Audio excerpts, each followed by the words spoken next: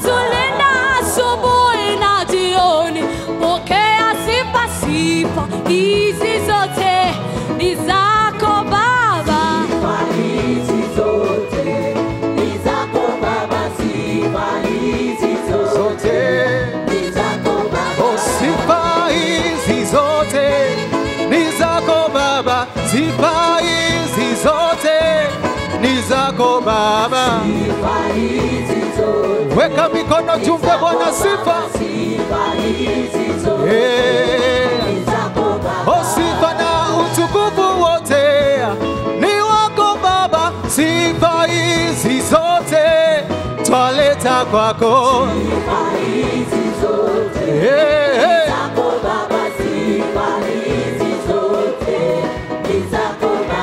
Wacha nisikie vigelegele kwa Yesu.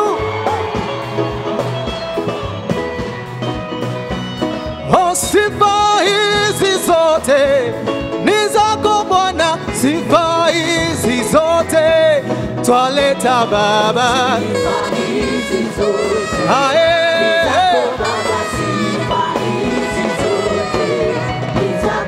Oh, sifa hizi zote. Twakushangilia, sifa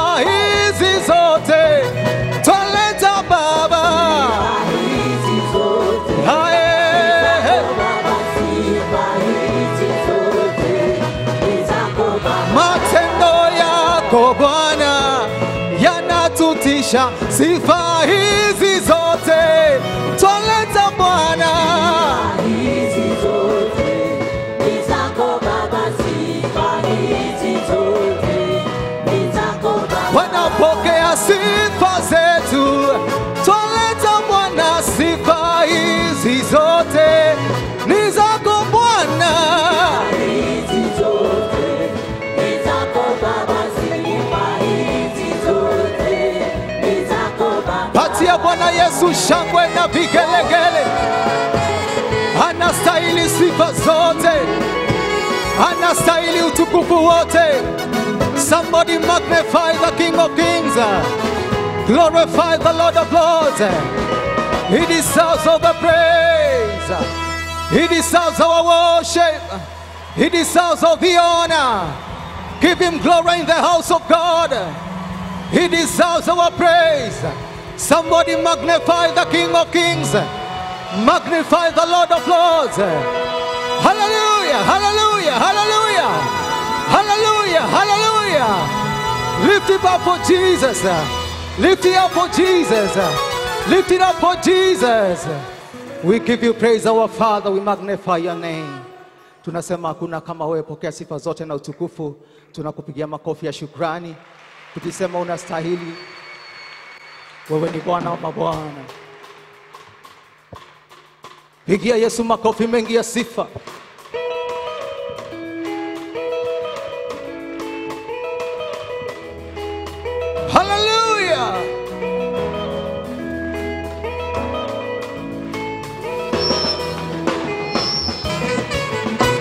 Pokea sifa e Mungu wetu, seme pokea sifa e Mungu, pokea sifa e Mungu leo, pokea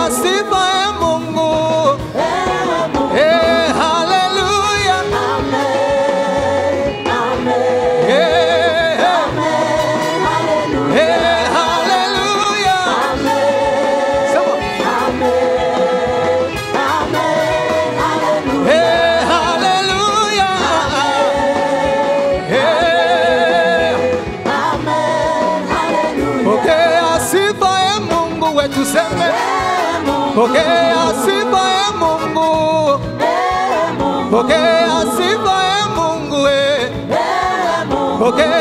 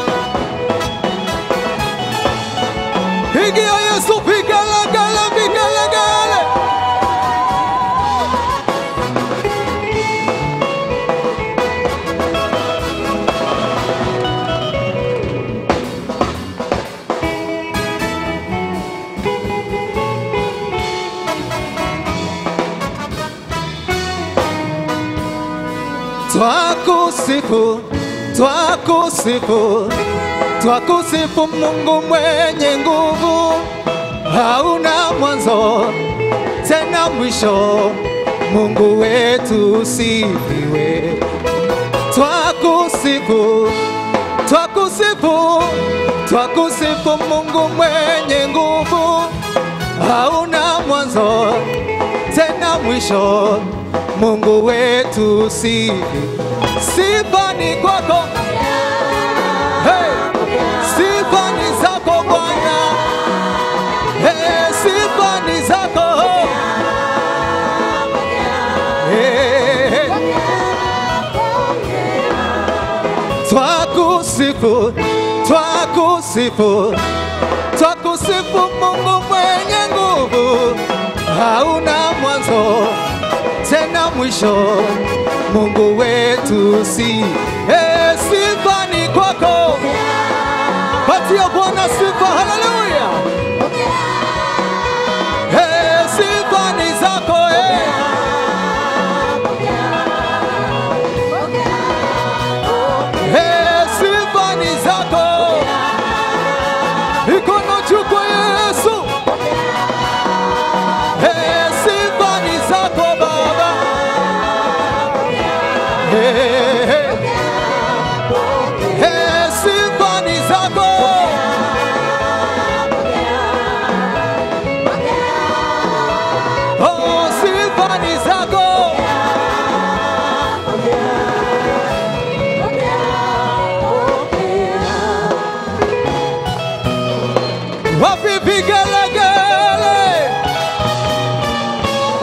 Wa milele wa milele,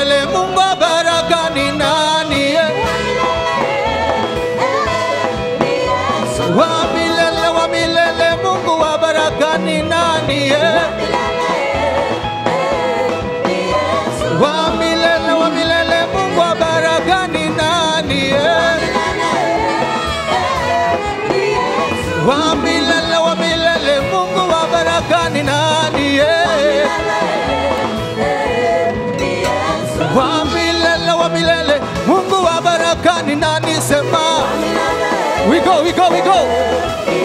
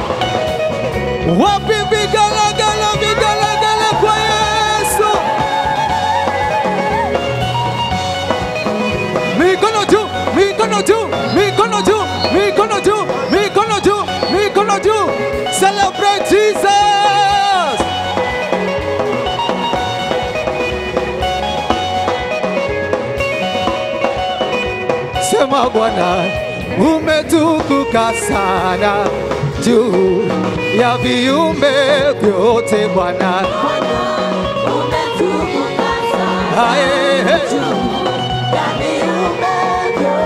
Sema Bwana, umetukuka sana juu ya viumbe vyote Bwana.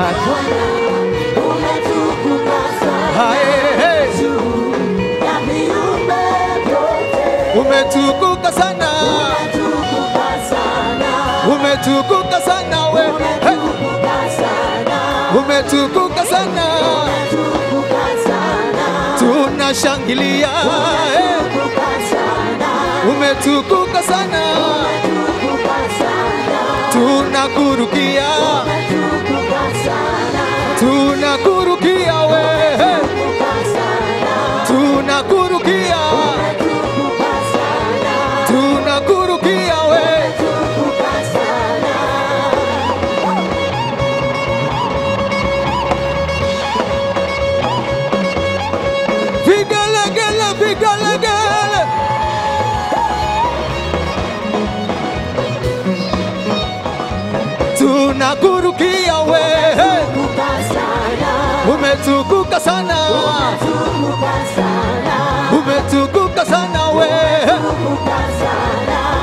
umetukuka sana, umetukuka sana. Hey.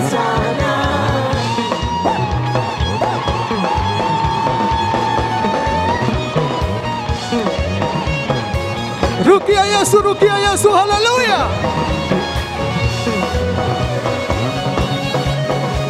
Umetukuka sana we, umetukuka sana, umetukuka sana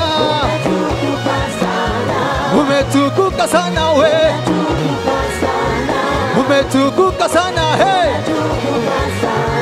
umetukuka sana, umetukuka sana, umetukuka sana.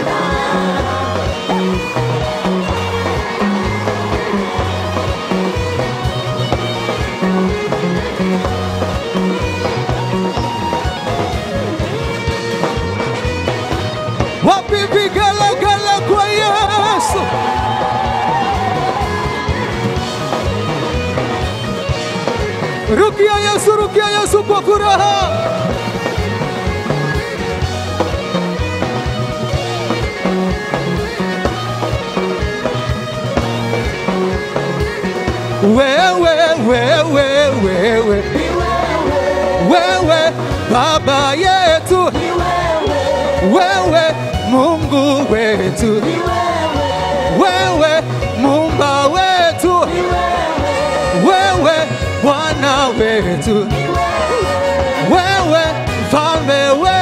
wewe, ni wewe,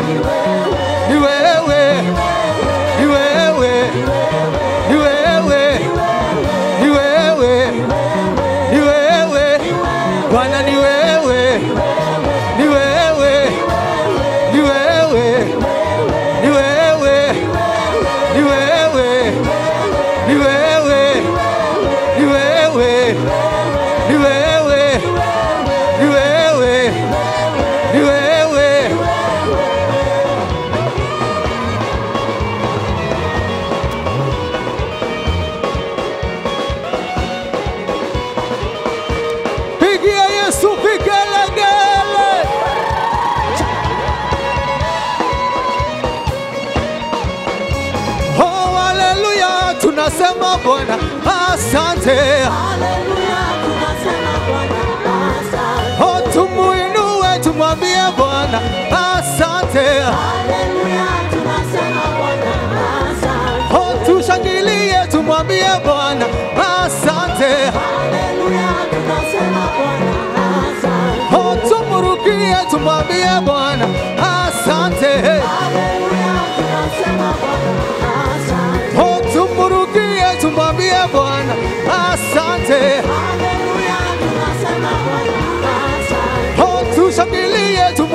Bwana. Asante. Oh, tumwambie Bwana. Asante. tunasema Bwana, tunasema Bwana, tunasema Bwana,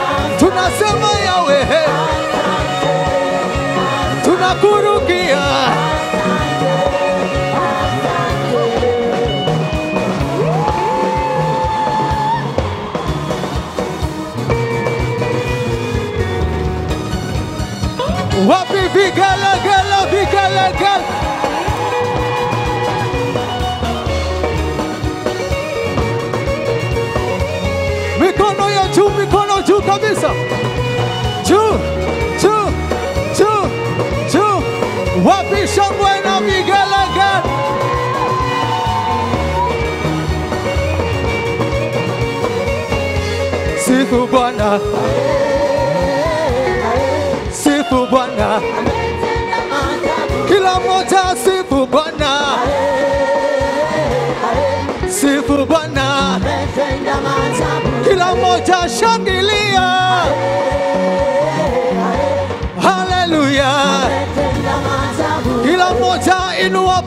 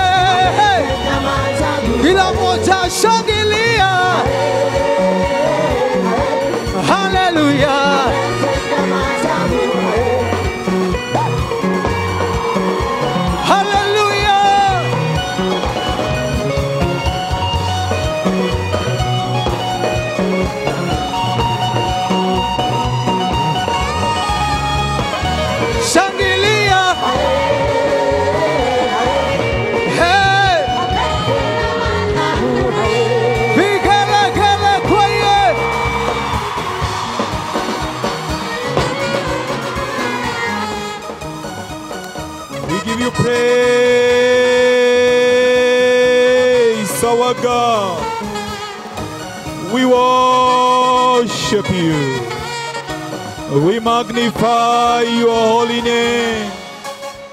Blessed be the name of the Lord. We magnify your holy name. Yeah. We love you, our King. We love you, our Master.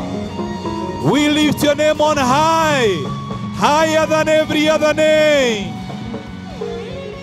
Thank you, Jesus. We give you glory and honor. In Jesus' name, amen, amen, amen, amen. God bless you. We can take our seats. To God be all the glory. God bless the worship team. More grace in Jesus' name. Amen. How many are missing our worship night? Praise the name of the living God.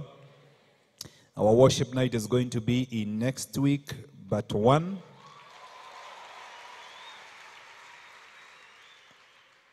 That is in March, date 6. We are going to have a worship night. So you can prepare to have a wonderful time in the presence of God. Na chukua nafasi kuwakaribisha kwenye ibada yetu ya siku ya leo, na hakika tunamshukuru Mungu kwa neema yake na ushindi wake ambao ametupatia ubali huu. Ningependa kuchukua nafasi kuwakaribisha wageni, if you are there, and you are a visitor, ulikuja kubarikiwa pamoja nasi, please just show me by the lifting of your hand. Where are you? Wageni wetu tafadhali msimame tu. Msimame tu wageni wetu wote. Glory to God. Thank you. Thank you. Thank you. Wengine wako kule juu, asanti. Situwapigie wote makofi.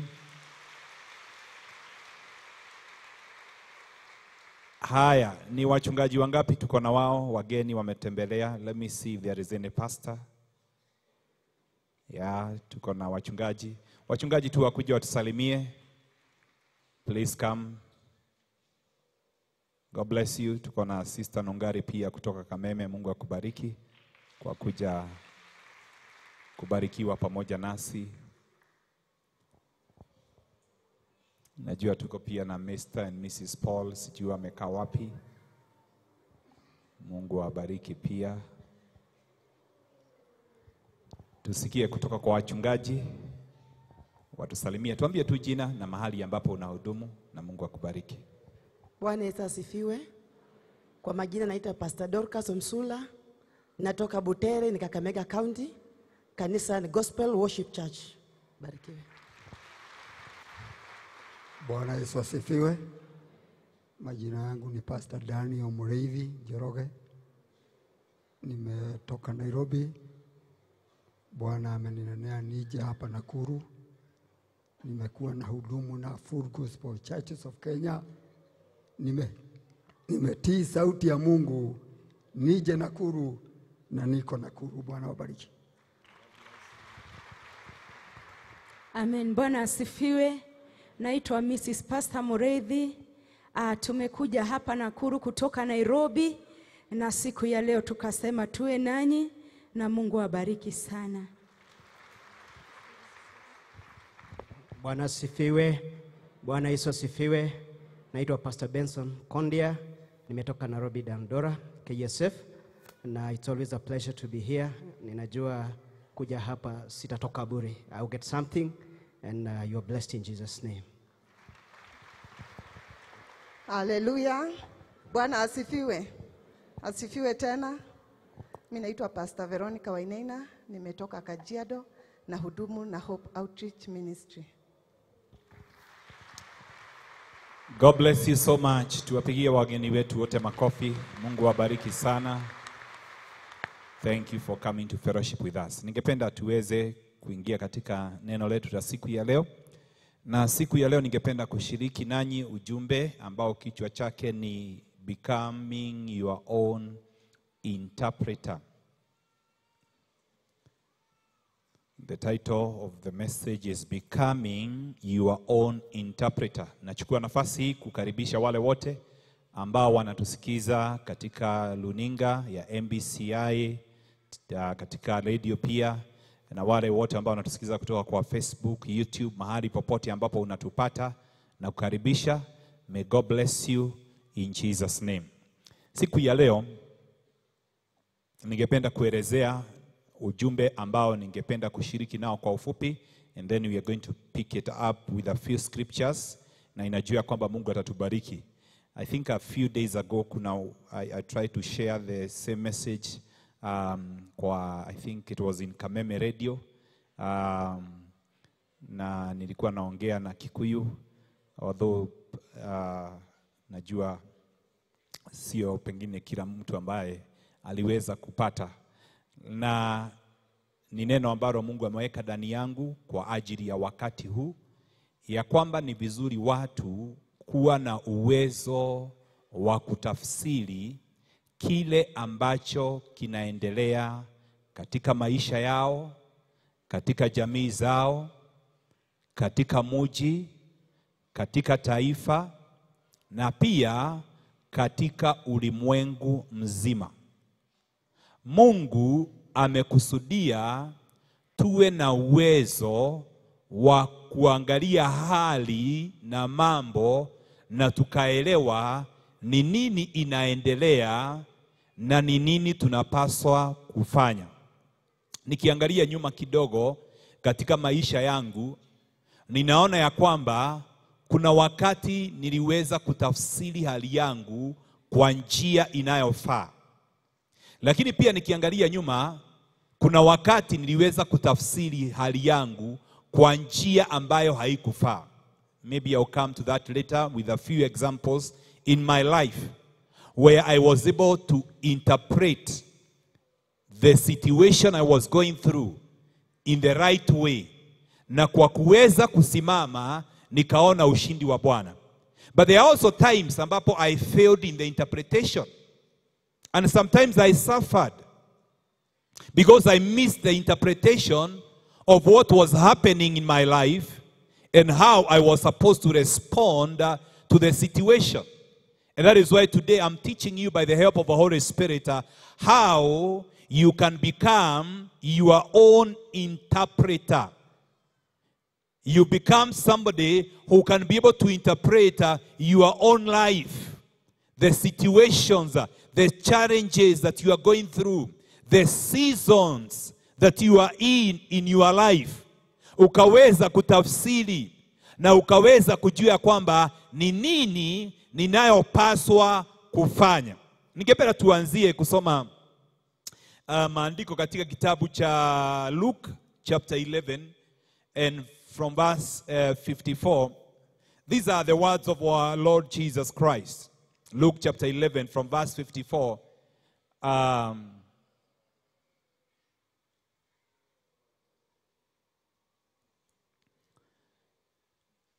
waiting to catch him in something he might say.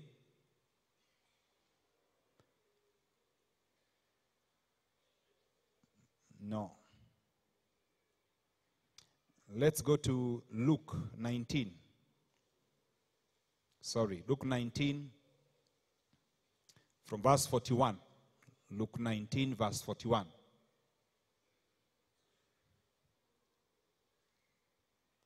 Luke 19:41. Yeah. As he approached Jerusalem and saw the city, he wept over it and said, If you, even you, had only known on this day what would bring you peace. But now it is hidden from your eyes.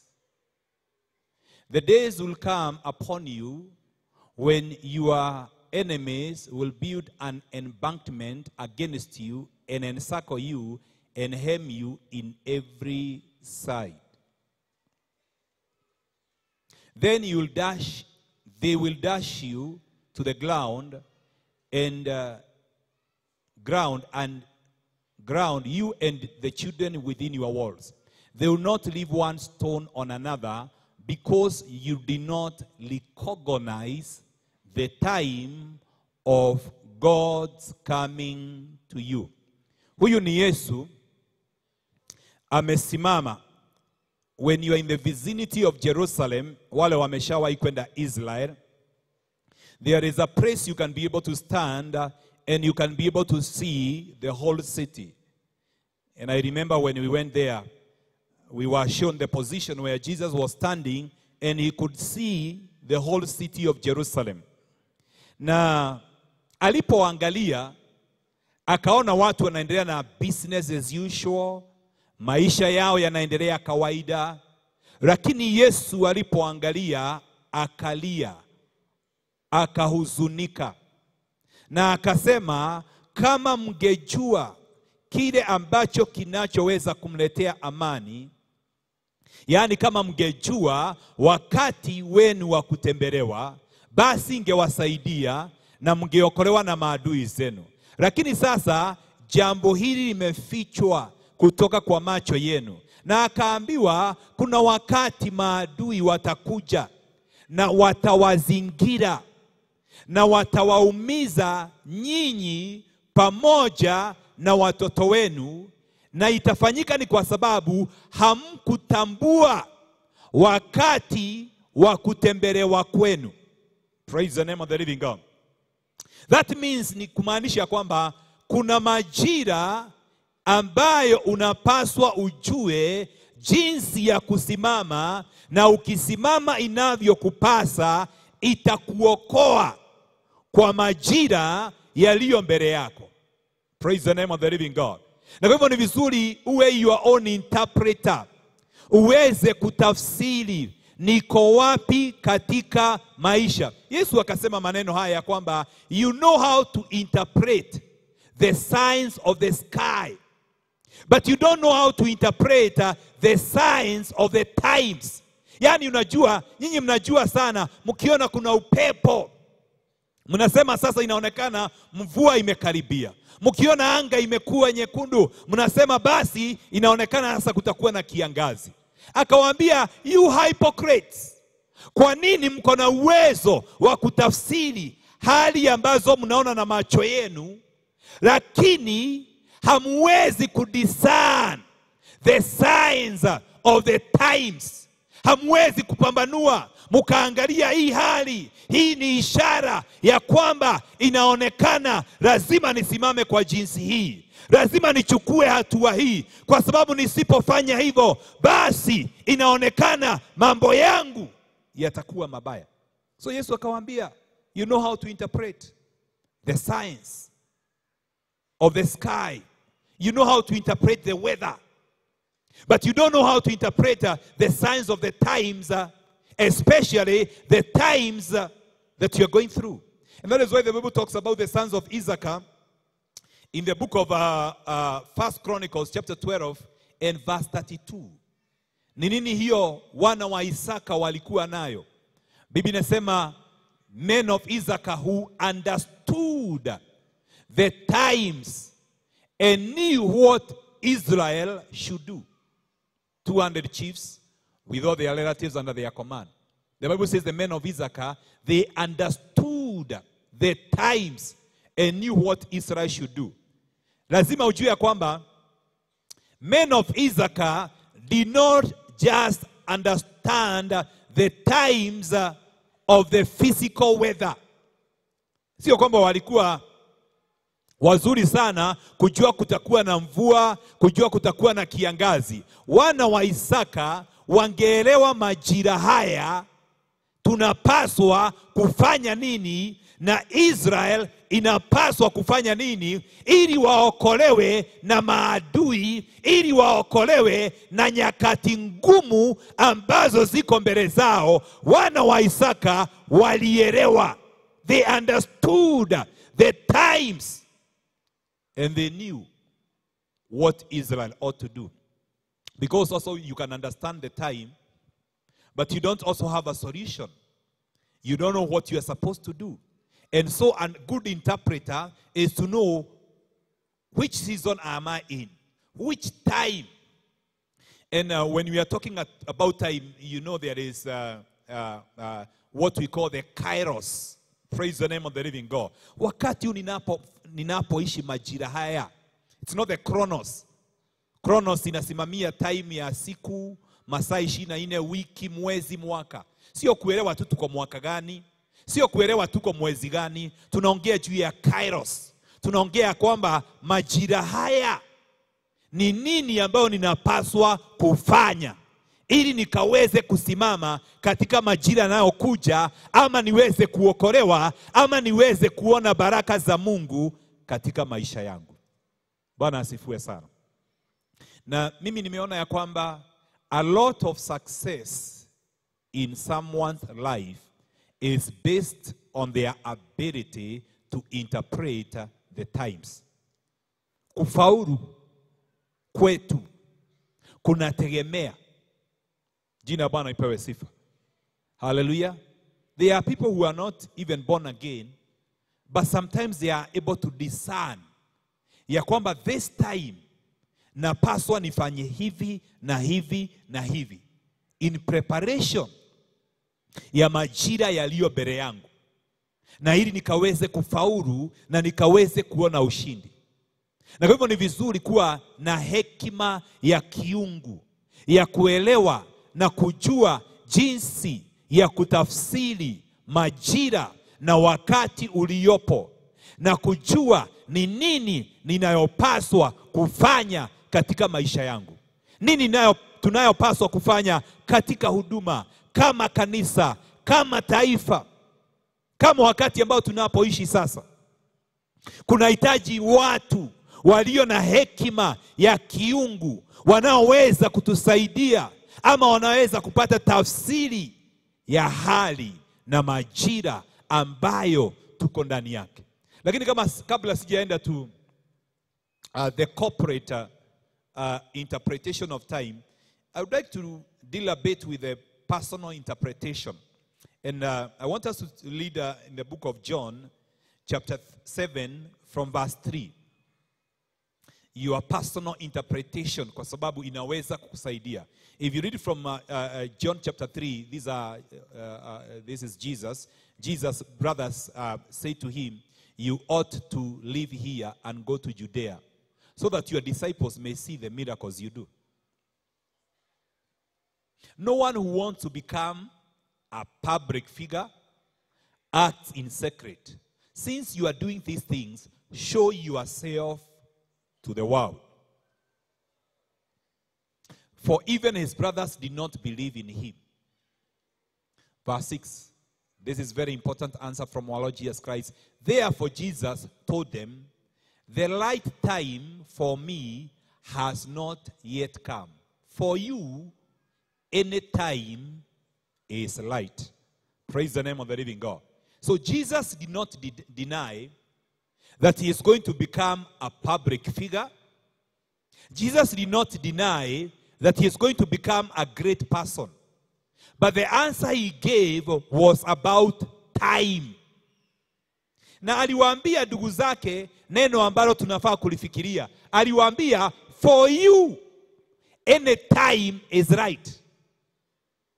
Lakini akasema the right time has not yet come for me.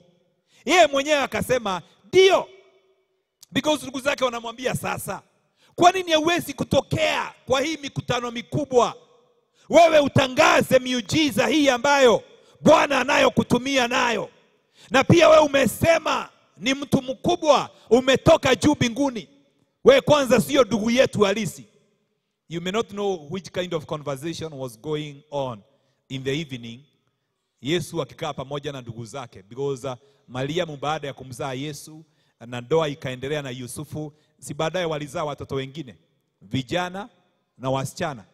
Si ungesikia watu wakisema ndugu zake tunawajua, dada zake tunawajua. Sasa jioni wakipiga stori wal, walikuwa naongea namna gani?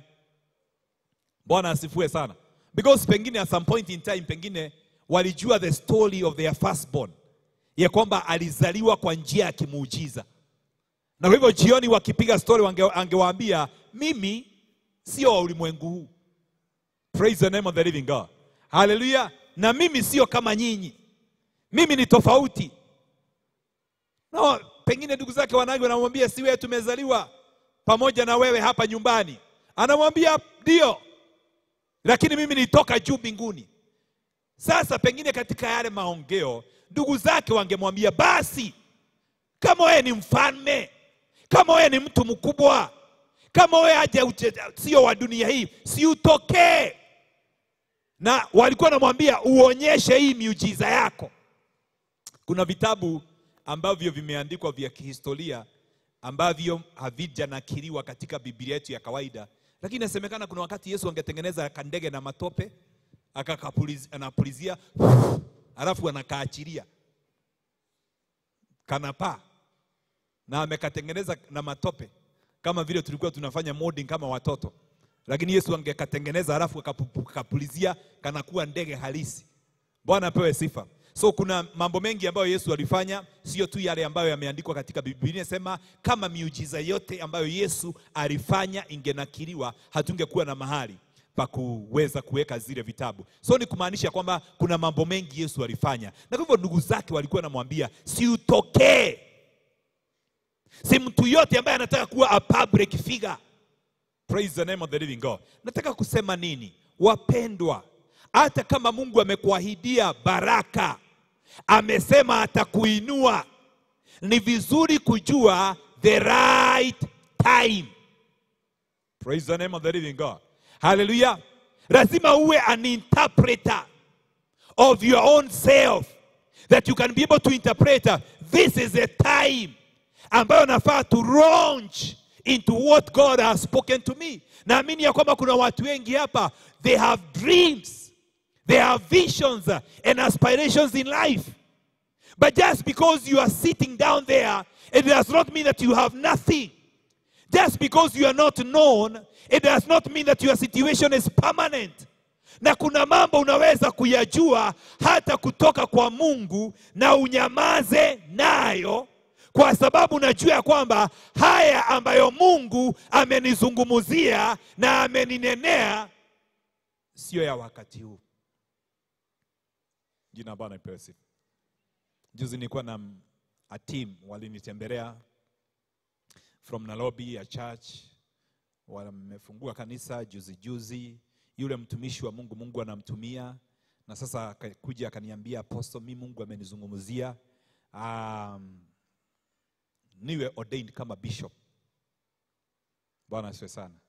Na tukaongea mambo mengi na hata anyway, so nikamwambia ni kweli Mungu amekuzungumzia ili uwe ordained, na hakika kuna ishara ambazo Mungu anakutumia nazo, lakini mimi sioni kama huu ndio wakati wako wa kuwekewa mafuta, na mimi siwezi kukubali kukuwekea mafuta, hata kama Mungu amekwambia ni mimi. Mimi nitakukubalia ukae, kwa sababu Mungu hata hatakosa kukutumia, kwa sababu sija kuordain. Mungu aendelee kukutumia. So nikajaribu kumwadvise na yenyewe akapokea ule ushauri, kwa sababu if you are not a very good interpreter, unaweza kuchanganya maisha yako kwa kumiss the timings of God. Na nikamwambia mfano wangu mimi, Mungu wakati aliniongeresha juu ya apostolic ministry, it was around the year 1996 we were in a mountain praying in Gong and God visited us in a very special way ha? na akaconfirm ya kwamba he has called me into the apostolic but I took about 10 years before I was ordained into that office. Praise the name of the living God. Hallelujah. And even now I can confess like Paul, I have not yet been made perfect. Ha? Na je kama wakati Mungu alituvisit huko ningetoka mlimani nikienda nikitafuta mtu wa kunimwagia mafuta na niseme mimi ni Apostle John Kimani William, pengine ningeanza kukutana na vita, pengine ningeanza kukutana, Mungu hata angepata nafasi nzuri ya kuniandaa. So hata kama Mungu alikuwa amezungumuza, niligojea miaka kumi. Bwana apewe sifa. Na ndiposa Yesu akasema ya kwamba for you any time is right to become great. Kwenu nyinyi inafaa wakati wote unaweza kuwa mkubwa, lakini mimi wakati wangu, even if I'll be a public figure, even if I'll be a great person, my time is not yet. Praise the name of the living God. Haleluya. Wapendwa, katika haya maisha there are people ambao wamejiumiza na wamevunjika moyo kwa sababu walipotembelewa na Mungu, walipomwamini Mungu, walipotoa dhabihu zao, walifikiria wakati ni sasa. Sasa wakati mambo yale waliyotarajia haikufanyika, ikawaumiza, ikawavunja moyo, kwa sababu hawakuweza hawa- kutafsiri ni nini Mungu anataka nifanye na maisha yangu wakati huu, akiniandaa kwa wakati unaokuja. Hata kuna watu wameachilia ndoto na prophetic words ambazo Mungu aliwapatia, kwa sababu wakati walipatiwa na zimechukua muda, wakaona ni ya kwamba hii ni kama haikuwa ya kweli, lakini hawakujua kuinterpret ya kwamba Mungu, kama Biblia inasema ya kwamba wale waliotabiri juu ya kuzaliwa kwa Yesu walitabiri, walifikiria Yesu atazaliwa wakati wao, lakini when they searched intently, walipochunguza katika roho, wakajua Yesu atazaliwa wakiwa hawako. Bwana asifiwe sana. Na ni vizuri sana kuwa your own interpreter, ya kwamba unaweza kuchunguza kile Mungu anachonizungumzia, because kuna watu hufunuliwa mambo makubwa, hata wanatumiwa nabii, wanaambiwa wewe, Mungu atakubariki wewe, utakuwa hata financial, lakini kutoka wakati huo mambo yanaenda chini. wanapitia changamoto mpaka mtu anaanza kushangaa, na hii Mungu aliyonena juu ya maisha yangu ilikuwa ni kweli, lakini hawakuelewa ya kwamba hii ambayo Mungu alinena ni ya kweli. Wakati Daudi alitiliwa mafuta, alipitia changamoto nyingi, hata za kutaka kuuawa na Saul. Akafika mahali anaishi katika ngome, katika milima, lakini bado wito wa kufanyika mfalme ulikuwa juu yake. So hata Mungu akizungumuza, baadaye upitie kipindi kigumu. Praise the name of the living God. I said there are times I have been able to interpret my life in the right way. There are times hata mimi nilishindwa. Like when I reach a point and I feel I felt I'm giving up on God, waiting upon God. Na nikasema niandikie Mungu barua na nimwambie Mungu sasa, mimi nimeshindwa kugojea na nimeona vitu zako hazipatikanangi kwa urahisi, na nikachukua kalamu na karatasi. Nikaanza kuandika barua. Si unajua barua za zamani vile tulikuwa tunaandika, wambere nä ngeithi nyingä må no Ngai. Na thutha wa ngeithi igua horo wakwa. Niä nä ngwendete må praise the name of the living God. Mimi nakupenda sana na nimetamani miaka mingi nikutumikie. Lakini nimefika mwisho. Praise the name of the living God. Haleluya wakati nilipoenda kuombewa mtumishi wa Mungu roho wa Mungu akashuka juu yake akaniambia Mungu akaniambia njia ninayokupitishia ndiyo mimi huwapitishia watumishi wangu baadaye na wafanya watu wakubwa. That means ugumu wangu wa maisha niliweza kutafsiri ya kwamba ni kuachiliwa na Mungu na hakukuwa na tumaini ya kutokea. Lakini nilipopata tafsiri ya Mungu, Mungu akaniambia hii njia unapitia nimewapitishia wengine hapo, baadaye nikawafanya watumishi wangu wakubwa.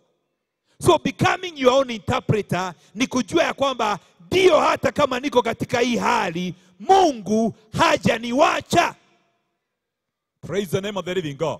Hii hali ambayo ninayokabiliana nayo haitanimaliza na unakubaliana na Mungu because two cannot walk together unless they agree. Unakubaliana na Mungu na unasema ndigothira, nidarega kuninwo sitakwisha, nimekataa kumalizwa. Hii hali siyo ya kunimaliza. Inaweza kuwa ni ya kijamii, inaweza kuwa ni ya kifedha, inaweza kuwa ni ya kiafya ambayo unayoipitia, lakini kwa sababu unajua kutafsiri, unajua ya kwamba hii hali ambayo inakaa kama bonde la uvuli wa mauti siyo ya kunimaliza. Hii ndio itakayokuwa stepping stone ya kuingia katika hatima yangu. Hii hali ya kuinukiwa na maadui siyo ya kunimaliza, ni Bwana baadaye anatayarisha aandae meza mbele ya maadui zangu. Unatafsiri kwa njia inayofaa,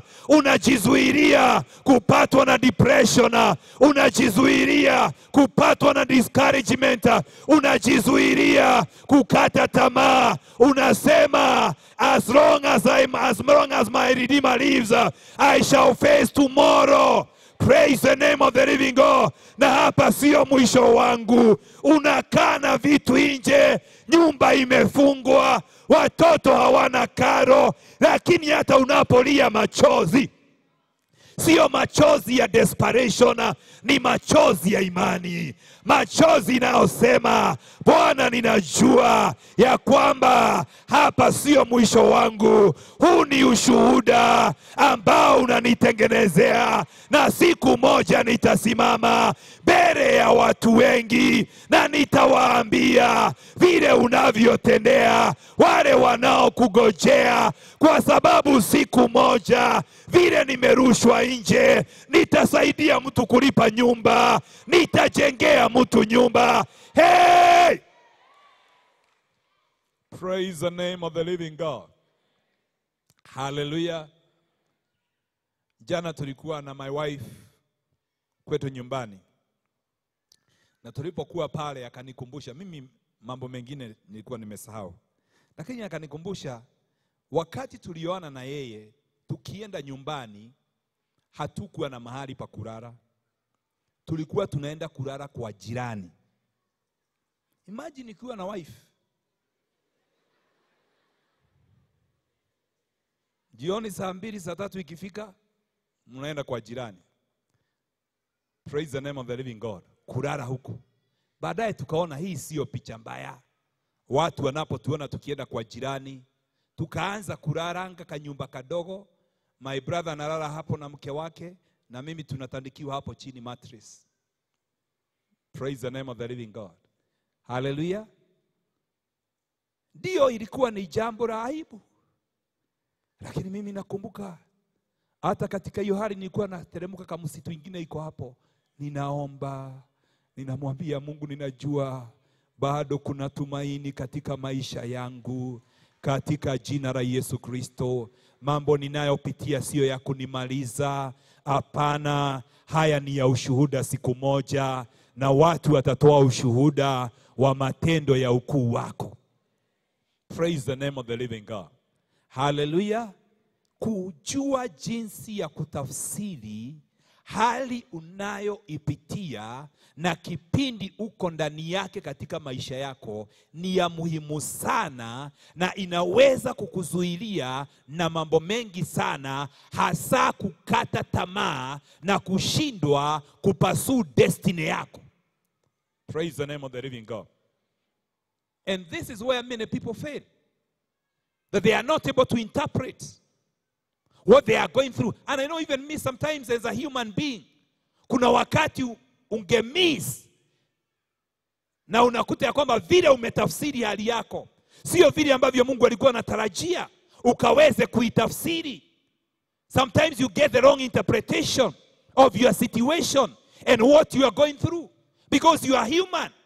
Na katika ulimwengu huu kuna vile watu wanazoea kutafsiri, wanajua ukiisha mambo yako yakiwa mabaya, hawajui ya kwamba unaweza kuinuka tena. Praise the name of the living God. Wanaenda na mwili, wanaona tu mwisho wako. Jina Bwana ipewe sifa. Ukisoma Ezekiel 37 wakati wana wa Israeli walikuwa wamekaa in exile for 70 years na Mungu akataka kuwatoa pale. Ezekiel was a prophet in exile and people like Daniel were also in exile. Na Daniel walipovisoma vitabu Daniel chapter 1 from verse 2 kiendelea, akaelewa ya kwamba 70 years ndio zilikuwa zimetafsiriwa na Jeremiah juu ya exile ya wana wa Israeli. Watu kama Ezekiel, Mungu akaanza kuwainua katika roho, anawauliza hii mifupa inaweza kuishi? Kwa sababu ilikuwa mifupa mikavu, mifupa ambayo haina nyama.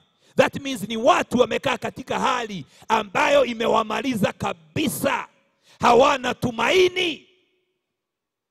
Ezekiel akamwambia Mungu, wewe peke yake ndiye unayejua. Mungu akamwambia Ezekiel, tabiria hii mifupa mikavu na Mungu baadaye akamwambia hii mifupa inasimamia watu wangu, wana wa Israeli. Wanasema Mungu wetu ametuacha, hakuna tumaini tena la kurudi katika nchi yetu. Lakini Mungu akamwambia Ezekiel, nitakuja, nitafungua makaburi yao. Praise the name of the living God. Hallelujah. Kuna wakati Mungu huwa anakuja anafungua ndoto na maono yaliyosahaulika, na Mungu anaweza kuja wakati kama huo amekukumbuka baada ya mateso, baada ya kilio, baada ya ugumu mwingi, but you are not even aware of it uh, that God has come to visit your life. Praise the name of the living God. May God give you the spirit of discernment from today. In the mighty name of Jesus, uh, may you become your own interpreter in the mighty name of Jesus, uh, so that you may know the time uh, when you are living in uh, and what you are supposed to do. May you become like the sons of Issachar in the mighty name of Jesus, uh, that you understand the times in your life uh, and you know what you are supposed to do. Bwana asifiwe sana. So that greatness ambayo Mungu amekusudia haitakuwa aborted. That you're not going to launch before your time. Mungu anaweza kuzungumzia ndiyo kama vile Yesu alisema ya kwamba for you any time is right. Let me tell you, it is long for you especially as a believer. When you think that any time is right for you to have everything. Wakati huu ni sawa, nipate upako mkubwa, nijenge nyumba, ninunue gari, nifanye mambo haya na yale. Nataka nikwambia ya kwamba you are dead long Yesu aliwaambia kwamba for you any time is right. Ni vizuri mtu kujielewa, yenyewe Mungu atakuja kunitumia, lakini nitachukua muda kuandaliwa. Yenyewe ni mimi nitakuja kuwa na gari, but this is not the time. So that hata ukipata pesa mingi, hauna ile greed na tamaa ya kuingia katika jambo ambalo wakati wake haujafika. Kuna watu walijiingiza, unakuta umenunua gari, baadaye mambo mengine yanakuja, unauza ile gari na unawachwa na vidoda because ulifikiria huu ndio wakati ha? Lakini ikawa the timing was wrong, it was not the time. Praise the name of the living God. Ni kama mimi wakati nipata pesa kidogo na nikasema sasa, unajua nilikuwa na gari, eh, gari ya SAF ambayo ilikuwa inafanya nina shida kila wakati kwa garage, karibu nachelewa na hour. So wakati nipo user nikasema sasa lazima ninue gari mpya. Nikaenda mpaka Dubai kuchagua gari mpya. But I was torn between a number of things. Je, ninue gari? Kanisa saa hiyo tuko Grey House, ni nyumba ya kukomboa. Eh? Si tunapaswa kutafuta uwanja. Lakini jambo lingine linaniambia uwanja ni wa kanisa. Gari ni yangu hii na jamii yangu. Tuta contribute kama watu wengine, lakini niwe na gari yangu, niwe na mchuma. Nikipeleka hivi hata kwetu Geshagi, watu wanaona Kimani alibarikiwa. Lakini nilipoenda Dubai nikachagua gari nzuri, dira tukamkubalia naye, utabadilisha hii, utafanya hivi, kuingia kulipa, Mungu akaniambia usinunue hiyo gari. Kama Mungu angenizungumzia wapendwa, I don't think this ministry would be where it is today. I would have missed God's time. Niliporudi hapa sikujua kwa nini Mungu amenizungumzia. Mungu akaniambia tukapata uwanja hapa about half an acre. Mungu akaniambia toa hizo pesa zote zinunue uwanja. So we were able to pay the first down payment even without doing a fundraising. And that is how we started acquiring the land where we are today as a church. Kama ningenunua gari, praise the name of the living God, would have missed this opportunity ya kupossess this land. Bwana apewe sifa. Pengine siku leo tungekuwa na kanisa, lakini ingekuwa pande ile ya mzee Wanyama ha? Lakini haingekuwa inafanana hivi, kwa sababu kuna mahali sikuelewa. When I came back, I stayed for four years without a car. Four years. And my patient grew so much ya kwamba hata wakati tulijenga kanisa ya kwanza, tukajenga haya maofisi, wale viongozi tulikuwa nao wakaniambia, hapana, posa sasa nunua gari. Nikawaambia sasa, kama tunaweza nunua trailer itakuwa na more impact kuliko gari yangu. We bought our first trailer hizi ambazo tunafanyanga mission nazo, kama sija, sina gari yangu binafsi. Kwa sababu gani? Mambo mengine tunataka kuyafanya, kuna tamaa ambazo tuko nazo ambazo sio za kiungu. Pengine we want to make a statement, unataka kujionyesha. Na hakika nilikuwa ninafikiria vile nitakuwa ninaenda na hiyo gari Gishagi. Ninajua shopping center ya kwetu vile inakaa, unafungua kio, unawekelea mkono hapo, unapiga round. Ndio wale walikuwa wanafikiria uliharibika kichwa, wajue kufuata Yesu sio kutupa mbao. Praise the name of the living God. Kwa hivyo ilikuwa na kakitu kengine ambako kalikuwa kaninisukuma kununua hiyo gari. Kwa hivyo kuna mambo mengine tunataka kufanya, tushindane na watu wengine, wengine pia waone hata sisi tuko tunaishi milimani. Praise the name of the living God. Haleluya. Tunaishi nyumba kubwa, tuko na haya na yale. Ndiyo inaweza kuwa katika mpango wa Mungu, but be your own interpreter. God may allow you to suffer for a little longer in a single room house lakini wewe ndiye utaishi nyumba yako ya ghorofa. Lakini kwa kugojea pale na kuelewa ya kwamba this is not my time wacha wengine hata waolewe. Sometimes watu wameingia katika ndoa kwa sababu umeona ni kama kila mtu anaolewa kasema hey, nitabaki namna gani? Mpaka unaanza kujipendekeza kwa waduu jina bwana ipewe sifa. Haleluya. Mpaka unaanza kujizungumzia. Unajua sio kila ndoto inatoka kwa mungu. Unaanza kuona ndoto ukiolewa na ndugu. Na kama haji kwako unaenda kumpatia ndoto. Najua mimi nimeona afadhali nikuja nikuambie. Afadhali na wewe uombe ujue kama ni mapenzi ya bwana Praise, lakini vile unataka kuienforce ha? unajua mtu akikataa mapenzi ya bwana ni shauri yake. Lakini najua hii ni kitu ambayo inatokana na mafikara yako wewe mwenyewe. Bwana apewe sifa. Wapendwa hata ukiona kila mtu anaolewa even if those who are younger than you wanaolewa kubali kujua ya kwamba your time is more important. Wacha wengine waoperate na their time. Jina la bwana lipewe sifa. Lakini wewe kaa katika wakati wako. Wakati wako mungu akija anaweza kufanya ungojee zaidi. Praise the name of the living god. This is like this story that is given about a, an elephant and a dog ambayo wote waliambiwa wako na mimba. Mbwa akazaa mara ya kwanza sita. Ndovu bado ako na mimba hajazaa mbwa akalea wale sita puppies baadaye akachukua mimba wengine sita. Tena akawalealea ndovu bado hajazaa.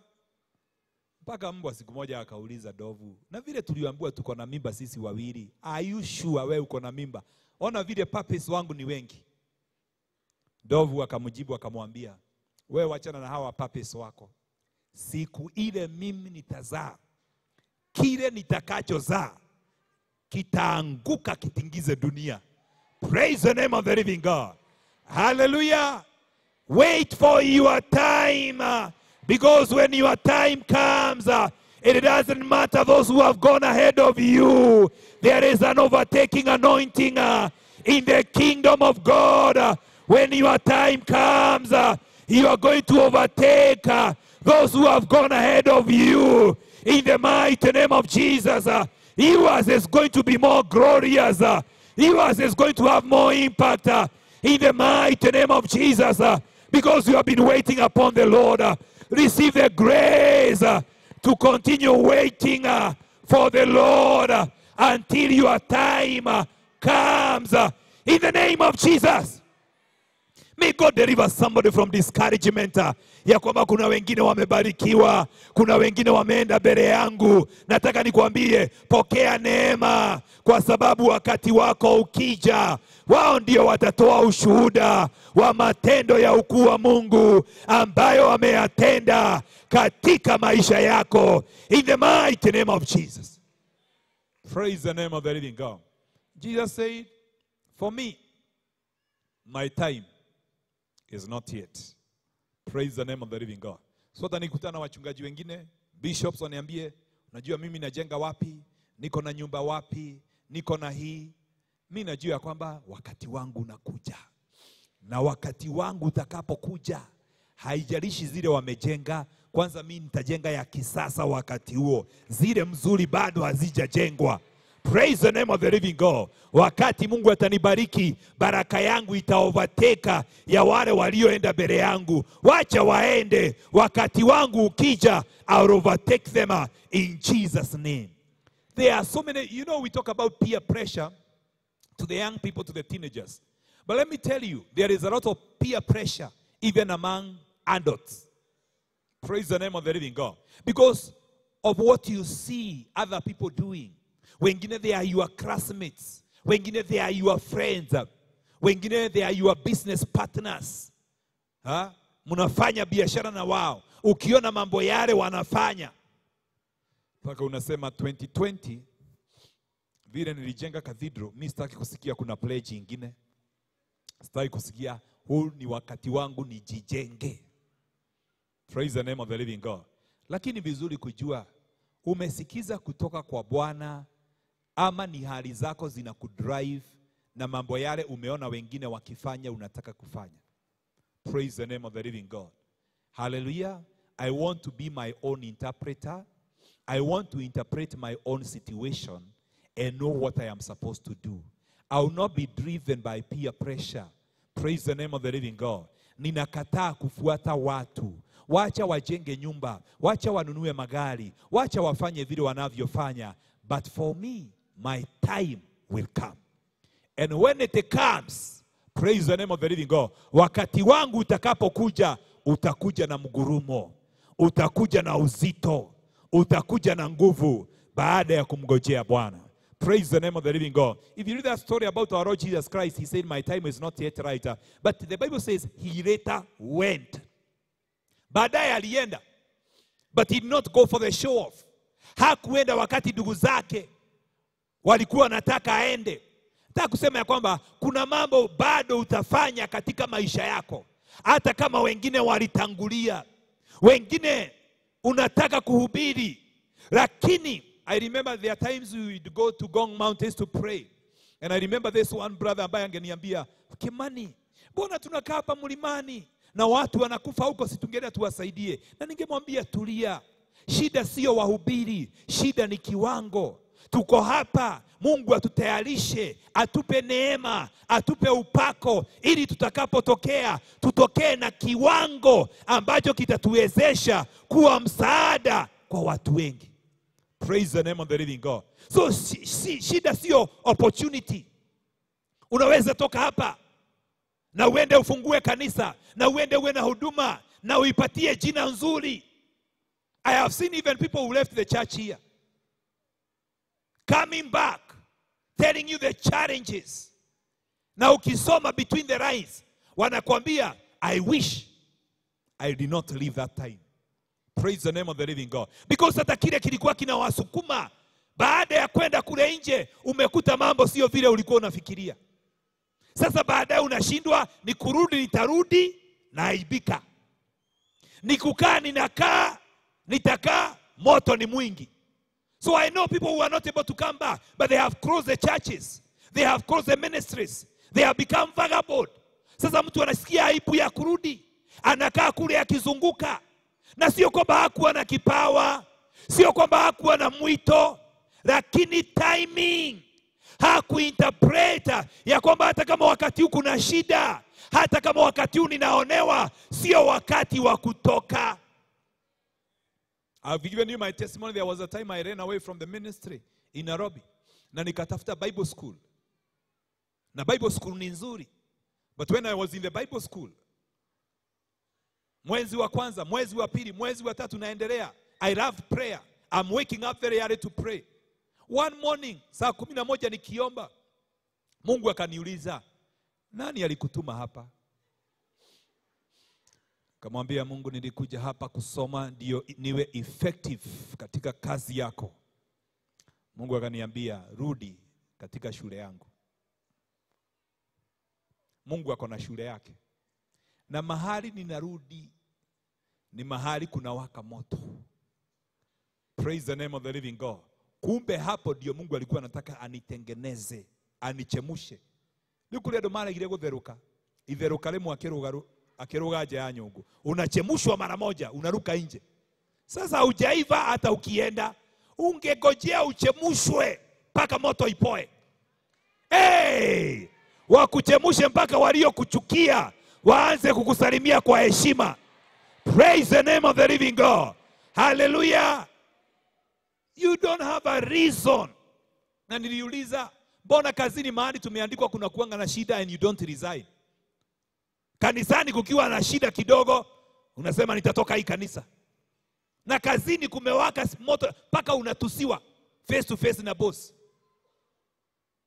Da? Lakini hapa hata aposto akipita na hakukuwa na kuona hii kanisa nitatoka. Unaona vile aposto anampita mtu kama gari, hata anisalimii.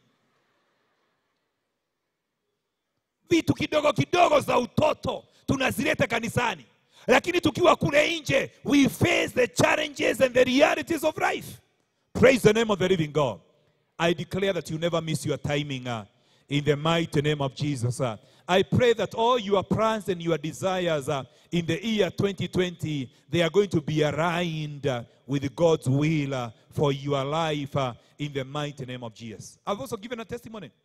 When God spoke to me about building the prayer mountain, it was in the year 2000. In the year 202, I did a fundraising. And we, in the ministry, we got only 80,000. Bado nang'ang'ana kununua shamba na 80. Tukapata zilikuwa taneka. Kwenda kulipa, fote zimelipa madeni. Yaani unang'ang'ana tu. Unang'ang'ana tu. Psalms 32 verse 8 and verse 9. Give us Psalms 32 verse 8 and verse 9. Hili ndiyo neno Mungu alinipatia miaka hiyo. Psalms 32 verse 8 and verse 9. And it is very, very important. I will instruct you and teach you in the way you should go. I will counsel you and watch over you. Verse 9, the Bible says, Do not be like a horse or like a mule, which have no understanding, but must be controlled by a by bait and bridle, or they will not come to you.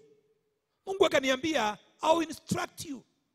I'll show you the way you should go. Hata kama nimekupatia maono, gojea my instruction. Wacha kwenda kabla ya wakati wangu, utaaibika. Praise the name of the living God. Gojea, usiwe kama mnyama ambaye haelewi. Yaani kama Mungu alikuwa ananiuliza, haujui wakati hauwezi kunijengea prayer center? Hauna uwezo. Sija kutayarisha. Ndiyo nimekupatia maono, lakini maono hayo siyo ya wakati huu ambao hata fea ya kwenda mission hauna, sio ya wakati. Unajua, wakati mwingine unasema wacha nijisukumie kwa maono, hata kama mambo yangu ni mabaya. Sasa ninaenda mission na paper bag ya nylon, lakini bado nataka kujenga prayer center. Hiyo ni kukosa akili. Mungu akasema usiwe kama punda ama farasi ambazo hazielewi kule ndo matanyiitaga na dari umwe wao. Kuna watu hawashiki na nilikuwa mmoja wao, lakini kama kuna kitu siku ya leo mimi hutafuta kudisan ni kutafsiri ni kitu gani Mungu anataka nifanye. Huu wakati, what is happening in my life.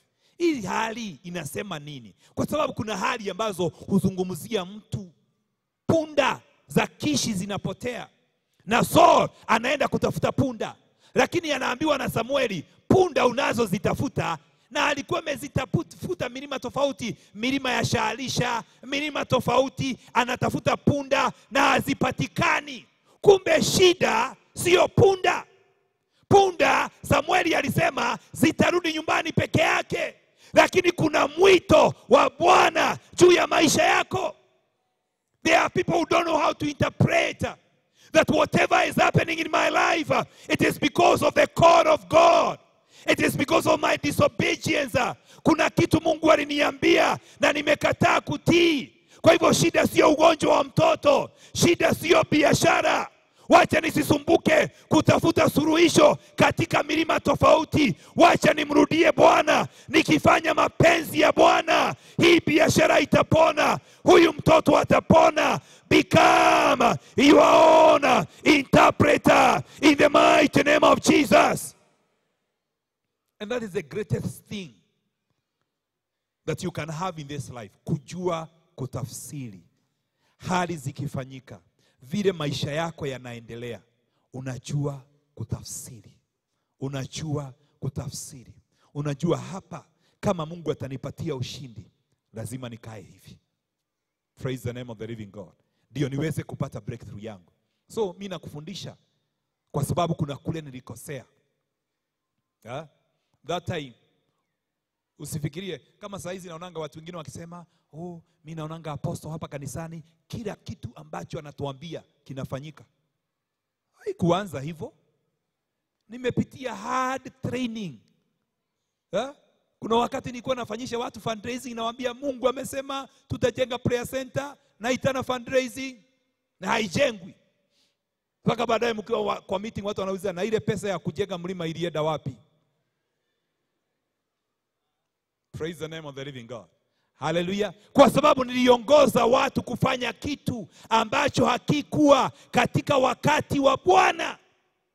And that is why I try so much. I gave you a testimony even before we started this cathedral to build. I prayed for six good months. Kwa sababu singekubali kuambia kanisa tutafanya mradi na sijasikia vizuri kutoka kwa Mungu. Because there are two ways. Number one, kuna the cost ya kujenga.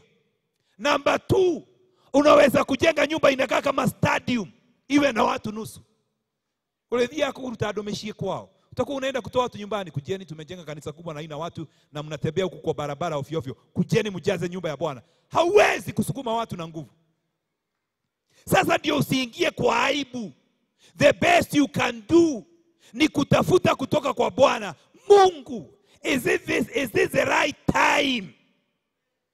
Praise the name of the living God. Ndio nisifanye jambo ambalo because I know the repercussions. Nimeshawahi kusema tunafanya hivi. Na haikufanyika. Hii maroli unaona hapa, tukiingia hapa kwa ofisi, nitakutolea makaratasi na, na bahasha ambazo zinachorwa magari, kwa sababu Mungu alikuwa amesema miaka mingi, hata kabla sija kuja Nakuru, lakini tulijaribu, haikuwezekana kwa sababu haikuwa wakati wake. Jina la Bwana lipewe sifa. So when you become your own interpreter, utajizuilia na maumivu mengi, kujiumiza wewe mwenyewe, kuingia mambo yana backfire. Bwana apewe sifa. You can even get into a relationship. I remember when God spoke to me about marriage. In fact, one of the things I did not like that time is to get into marriage. I was even fighting it in my spirit. Hata ningeambia waombezi waniombee kwa sababu sitaki ku, kuoa, lakini ilikuwa ni time ya Mungu, msukumo ulikuwa ndani yangu, lakini because of hali na mambo mengine mengi na unabii wa millennium 2000 Yesu anarudi.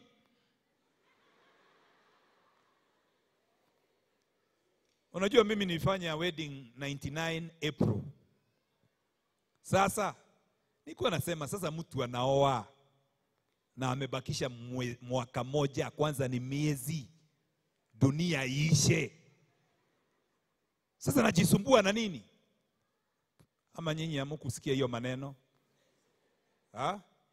Yeah, manabii wakubwa wa dunia wanasema sasa 2000 ngojea, hata usiku hatukulala, ungojee ni kitu gani kitafanyika. Jina la Bwana lipewe sifa. Lakini Mungu alikuwa anajua maisha itaendelea miaka mingi. Now it is 20 years and counting na bado hajarudi. Iko ndaragire kuhikania kama singeoa wakati huo. My wife aolewe hapa na mtu mwingine.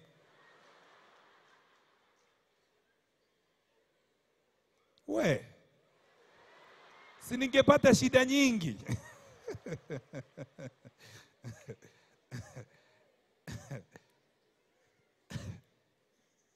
Lakini kwa sababu ya kupenda Mungu, Mungu alinihurumia.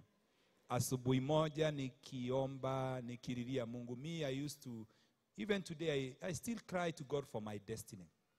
So Mungu akaniambia, your time to marry is now and you are going to marry so and so. Praise the name of the living God. Hallelujah.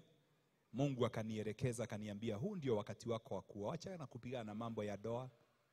Wacha kujisumbua ya kwamba haujafika wakati wa kuua Because pia I was looking at many many things. I don't want to go into them. Na nilikuwa ninaona kama wakati huo haufai.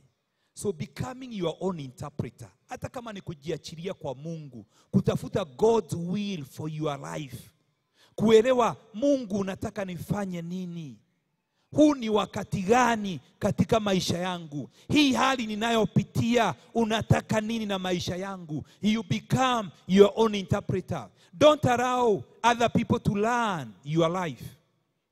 Kuna watu maisha yao yanakuwa rana watu wengine, unafuata the crowd, unataka kufanya jambo kwa sababu wengine wanafanya.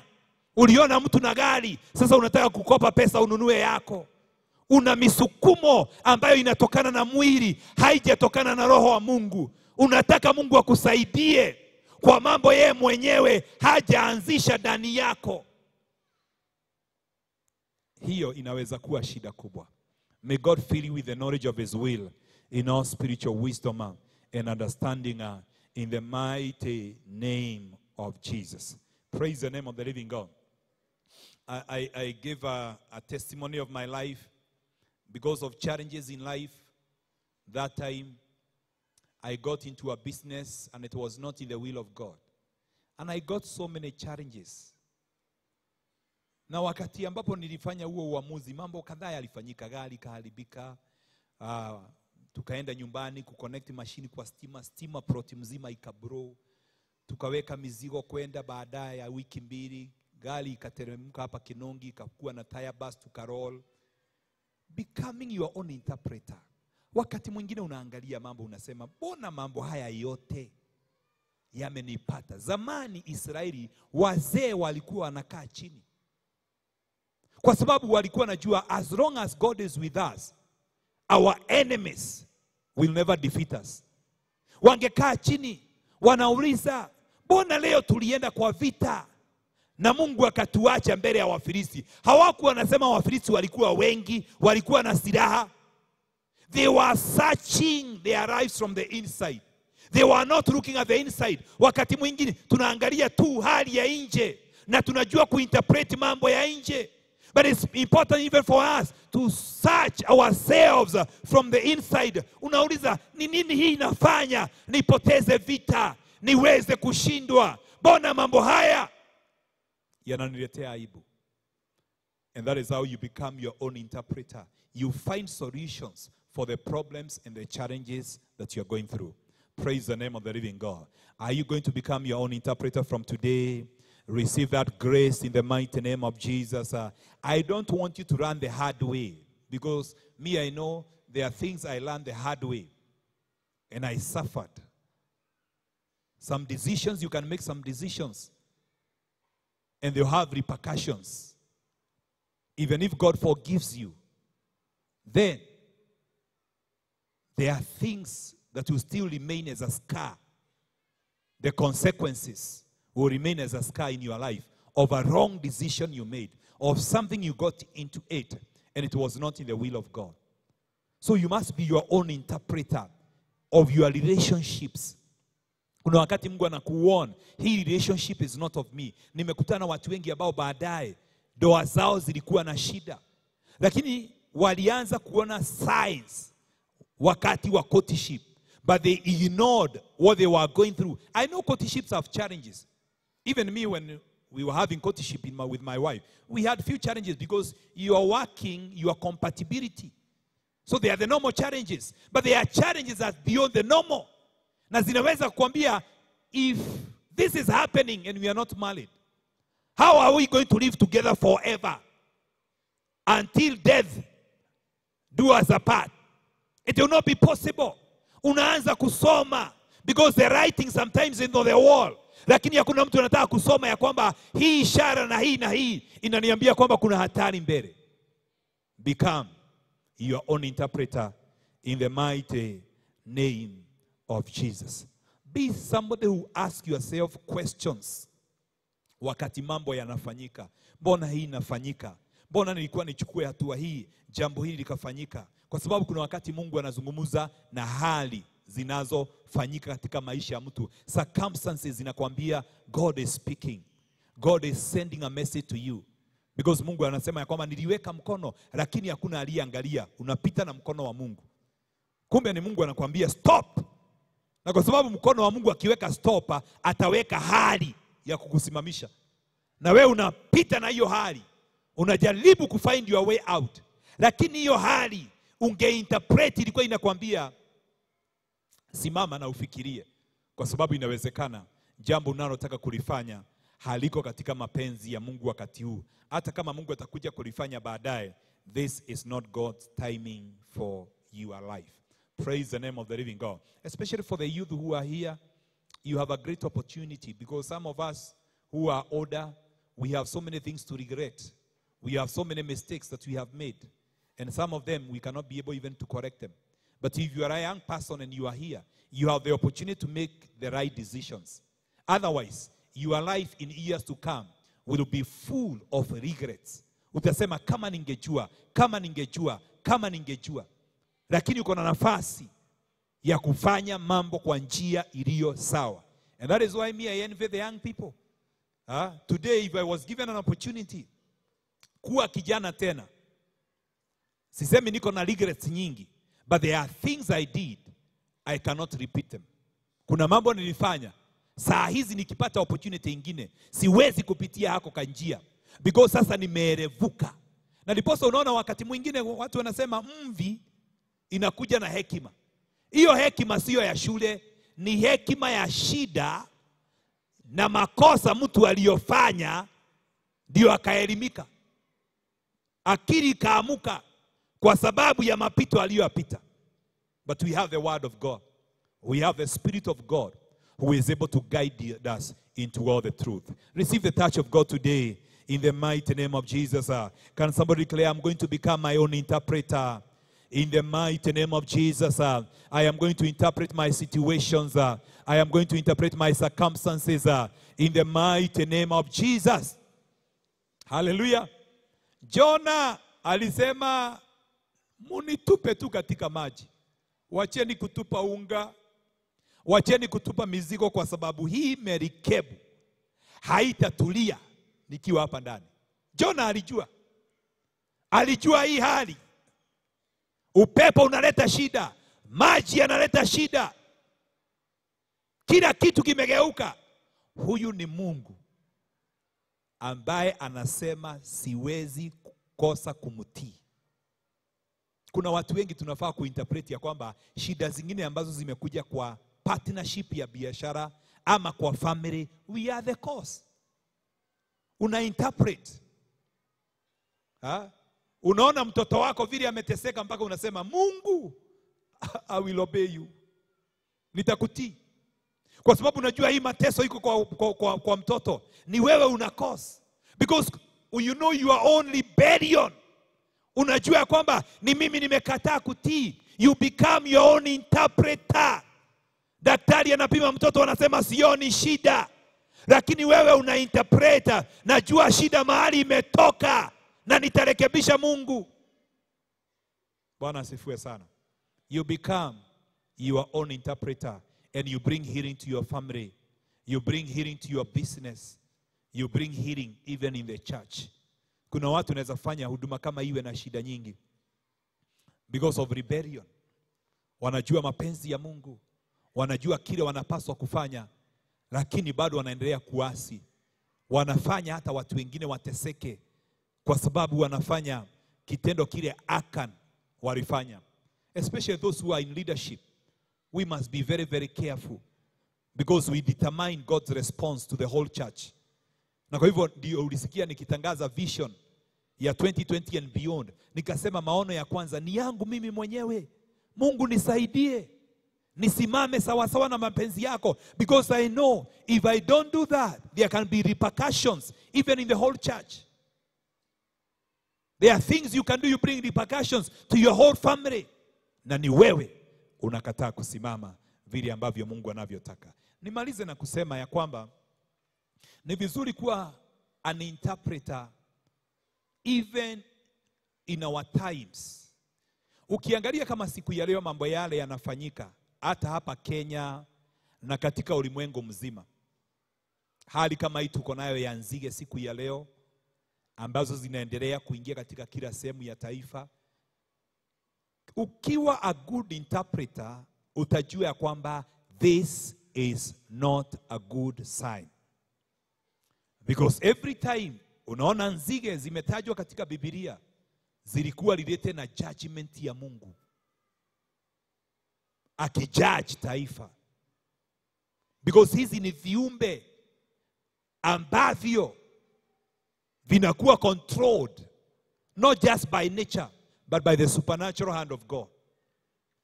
Jina bwana ipewe sifa. Ukiona mambo kama ya coronavirus kule china nchi ambayo ilikuwa inainuka kuwa superpower, lakini inatingizwa inakuambia this is not a good sign.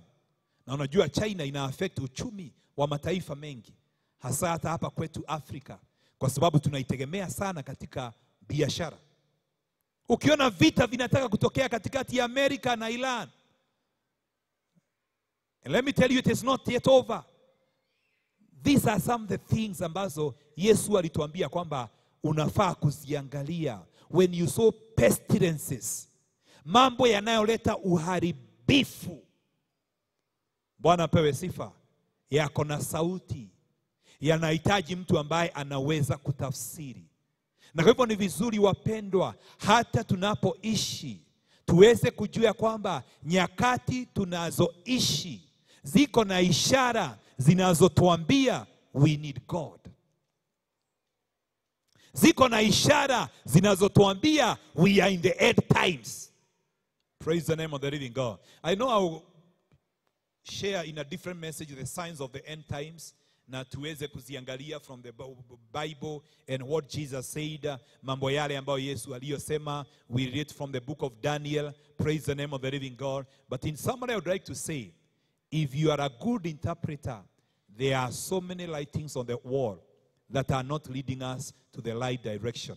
Even as a nation when you look at our divisive politics where our leaders are not able to come together and agree, especially even leaders from the same community.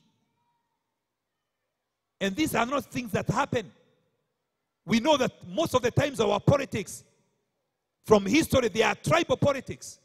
Ni kabila hii liko pamoja, kabila hii liko pamoja. Lakini ukiona siasa inafika mahali hata kabila moja halisikizani, that's not a good sign for our nation. Praise the name of the living God. Hallelujah. It is a sign that is telling us uh, we need to call upon the name of the Lord. Praise the name of the living God. To me, when I look at all these signs, uh, they are telling me we need to seek God for a divine visitation. Tukiona watu wanakimbilia miungu yao, idol worship ndiyo jambo Mungu anachukia sana, na huwa linafanya Mungu anajaji watu severely. Praise the name of the living God. Hallelujah. I hope hii sikukuu tume, tumewekewa ya 26 na wameileta karibu na wakati tunasherekea mwokozi Yesu kuzaliwa. Sasa tumeletewa ingine hapo imeitwa ya kacha. I hope hatutaenda kucelebrate our kacha in worshiping the gods of our fathers because that will provoke God and it will bring judgment to the nation. Praise the name of the living God.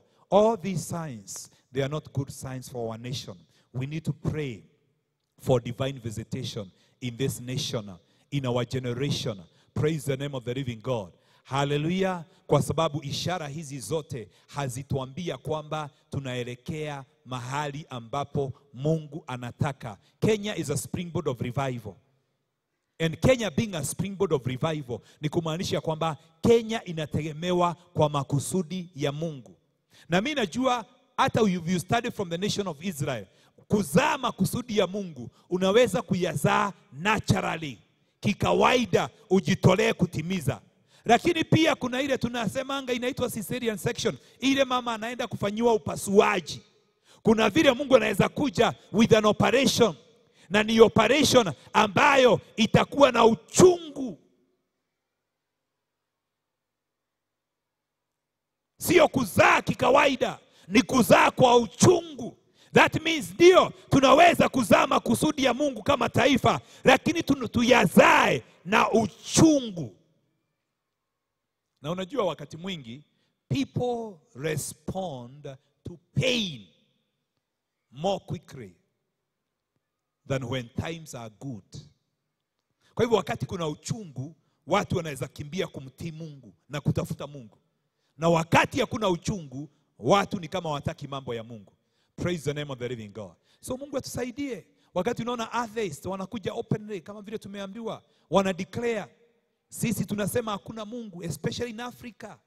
Wakati tunasema tunaona mambo ya gay and lesbianism yanakuwa practiced openly, mpaka mtu anasema niko na kanisa na mimi ni mhubiri na ni mhubiri gay na haogopi. Praise the name of the living God. These are not the best signs for our time. And this is the time to rise uh, and seek the face of God like never before. And we tell God, do not forsake your inheritance uh, because this nation is your inheritance. uh. We refuse Kenya to go through pain. uh. May you have mercy, O God, uh, and deliver our nation from pain, uh, the pain of hunger and famine uh, in the mighty name of Jesus, the pain of bloodshed in the mighty name of Jesus. Deliver us from every form of pain in the mighty name of Jesus, because the signs that we are seeing, uh, they are not the right signs. uh, but we pray that God is going to reverse uh, the situation. uh. God is going to come through for us. uh, and I declare this is a season uh, to seek the face of God until He comes and He rains righteousness upon us. in the mighty name of Jesus. may God reverse the situation in the mighty name of Jesus that we see in this nation uh, in the mighty name of Jesus ya kwamba nzige tunazoziona hazitavamia uh, uh, nchi nzima. Hii coronavirus kama inaweza mahali kama China, mahali wako na teknoloji ha? na ikiingia hapa Kenya, ni ukisikia mtu anakohoa hivyo kama huyo amekohoa, unamuuliza ulikuwa China ama umemsalimia Mchina? Jina Bwana ipewe sifa. Haleluya. Itakuwa shida ha? Itakuwa shida, itakuwa changamoto. Tunahitaji ulinzi wa Mungu, tunahitaji Mungu tu atujengee nchi yetu ukuta. And the only we can do that is just to humble ourselves before the Lord and we acknowledge our sins. Praise the name of the living God. Hallelujah. The sins of corruption, the sins of idol worship, where we have lifted other gods, uh, even the gods of our tribes, uh, the sins of wickedness, uovu ambao unaendelea, iwe ni, ni mambo ya fornication and adultery ambayo imekuwa ni kama the order of the day. Hata kanisani unakuta watu ambao wanasema wameokoka, lakini wanatembea katika usinzi na usherati. Mungu atuhurumie kwa mambo haya. May God have mercy in the mighty name of Jesus. The things that we see, a good interpreter will tell you these are not good signs for a nation, and we need to go back to God in the mighty name of Jesus. Praise the name of the living God. This week I was in Nairobi just to consult with the elders and uh, people who are like minded. And we have organized for a week and a national day of prayer in Uhuru Park in the month of March, just to go before the Lord and call upon the name of the Lord. Praise the name of the living God. In the week of, uh, in the Saturday of 21st, I know that Saturday we were supposed to be in Roiro, but we said I'm going to sacrifice that one day in Loiro meeting, and all roads will lead to Uhuru uh, in the mighty name of Jesus, uh, that we may go there and call upon the name of the Lord. And that whole week will be a week of prayer for the nation, that God will preserve this nation in the mighty name of Jesus. Uh, God will preserve our nation from pestilence mambo kama ya nzige, mambo kama ya coronavirus, vitu kama hizo zikipata nchi hii, wapendwa, sijui tutakuwa wapi. Confusion ambao tunaona katika siasa na uongozi wetu, these are not good signs for us. Praise the name of the living God. When our top top leadership is not in agreement, that's not a good sign for our nation. Jina Bwana lipewe sifa. We need to tell God we desire to see divine intervention. China ikiwa na shida, wafanyibiashara wetu hapa Kenya wako na shida. We need to remember China and we tell God, all you are able to cause all things to work for good. Send revival in China. May you raise an army that acknowledge your name. And by acknowledging your name, uh, bring healing and deliverance in the land, uh, that they may know there is a mighty God. uh, beyond technology, there is a mighty God in the name of Jesus. na kile teknolojia haiwezi kufanya, kile pesa haiwezi kufanya, wewe Mungu wa binguni unaweza kufanya. Na zaidi ya yote, razima kanisa lijiandae kwa kurudi mara ya pili kwa Yesu Kristo kwa sababu hata kama Mungu atatuepusha na mambo mengine, bado dunia, the world is ripe ha? for the judgment of God. So we just need to tell God the revival that God is going to release is an end time revival to prepare the church for the coming back of our Lord Jesus Christ. Na unajua kwamba baada ya kanisa kuwa raptured, ndio ghadhabu ya Mungu sasa itamwagwa in full. Praise the name of the living God. Vita kila mahali dunia nzima, pestilences ambazo zitamaliza watu ha? zitaanza kumwagwa katika dunia yote. So hizi ni ishara ambazo Yesu alisema. So kama uko hapo na unapenda maisha haya sana na dunia hii sana na uko na mipango ya kuishi miaka mia moja ni vizuri, lakini pia uishi ni kama Yesu anaweza kurudi siku ya kesho, kwa sababu Yesu ako karibu kurudi, na lazima kanisa lijiandae na tumwambie Bwana, send us the end time revival, the revival that is going to bring in a harvest in the whole world in preparation to the second coming of our Lord Jesus Christ. Rise up on your feet as we pray in Jesus' name. We give you praise, our God. We give you praise, our God. I want you to pray for a minute and tell God, help me to become a good interpreter of the times, of the times. Jesus said because he did not know the time of your visitation. Si kama kanisa, tusiwe watu walio katika giza, tusiwe watu ambao waliofunikwa. Mwambie Bwana, hata katika maisha yangu, hata katika hali zangu, I desire I'll be a good interpreter. I'll be a good interpreter. Pray, pray, pray, pray. Pray and tell God, I'll be, I, I'll be a good interpreter in the mighty name of Jesus uh, of the time uh, of where I am in life, of the seasons in my life. uh. just pray to God uh, and tell God, uh, help me, Jesus. uh, have mercy upon me in the mighty name of Jesus. I surrender to you. I refuse every confusion. I refuse to follow the crowd. I refuse to follow the multitudes. in the mighty name of Jesus, help me, Lord, to be an interpreter of my own situation uh, in the mighty name of Jesus. uh, niweze kuelewa ni nini inayoendelea, niweze kuelewa ni nini inayopaswa kufanya. Pray for your life, uh, pray for your life now, everywhere, everywhere, everywhere, everywhere, in the mighty name of Jesus. Even those who are watching, uh, pray to God that you're going to become a good interpreter that you're going to interpret what is happening in your life in the mighty name of Jesus. Reka baganda baboshe, sisi sio wana wa giza, hivyo tutire ciana cia nduma tuhobanĩrio sisi sio wana wa giza. Tukutwe na mambo yatufunike. Hapana, sisi ni wana wa nuru, na kwa sababu sisi ni wana wa nuru, tutaelewa, tutaona hatari ikija, tutajua jinsi ambayo tunapaswa kusimama. Mwambie Bwana, Oh my God, nisaidie kutafsiri hali ambayo ninayopitia, hali katika maisha yangu, hali katika huduma, hali katika taifa, hali katika kizazi changu. Sema nakataa kupitia katika giza. Mimi sitaenenda katika giza. Tangaza, mimi ni mwana wa nuru, mimi ni mwana wa nuru. Yesu alisema sisi ni wana wa nuru, sisi hatutapatwa na mambo kama wana wa giza. Sisi ni wana wa nuru. Tangaza, tangaza, mimi ni mwana wa nuru. Mambo hayatanipata tu, mambo hayatanipata tu bila kuelewa. shatarabaganda rabina rekabaganda baboshe rekabaganda baboshe rekabaganda ribaboshe rekabaganda ribabozeria rekabaganda. Mwambie Bwana, nisaidie kutenda mapenzi yako, nisaidie kuzalisha makusudi yako. Mwambie Bwana, sitazaa kwa uchungu, ninajitoa Bwana, ninajitoa. Kanisa la Kenya, Mungu amekusudia tukazalishe revival. Tumwambie Bwana, tutasimamia makusudi yako.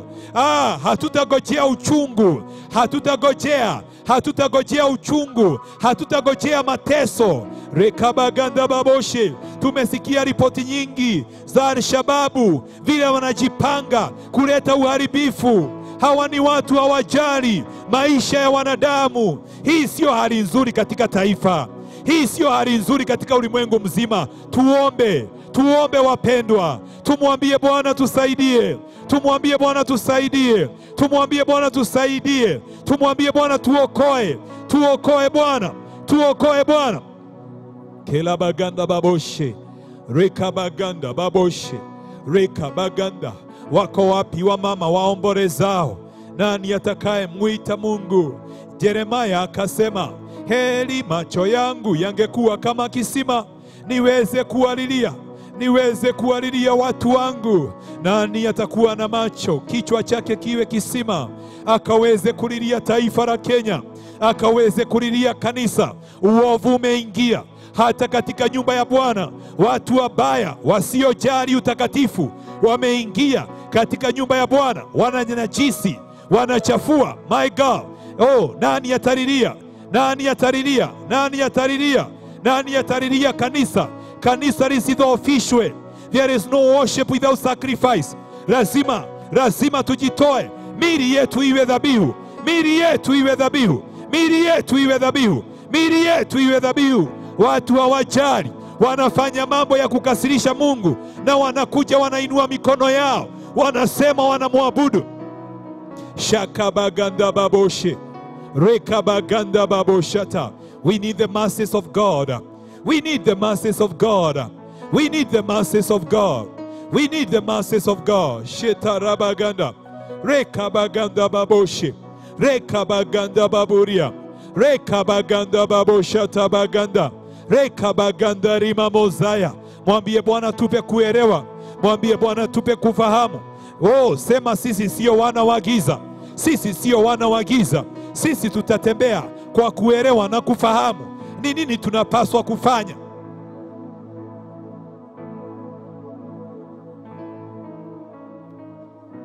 Thank you Lord. Kelabaganda baboshe rekabaganda tamaganda reka baganda baboshe reka baganda shatara baganda Hekima ya majira inashuka katika nyumba hii siku ya leo. Watu watajielewa, watu wataelewa maisha yao, watu wataelewa jinsi wanapaswa kusimama. Rekabaganda, bila kuangalia watu wengine. Mimi nitajitoa bila kuangalia watu, kwa sababu mimi natafsiri maisha yangu mwenyewe na ninajua vile Mungu ameniita, ninajua vile Mungu anataka nisimame.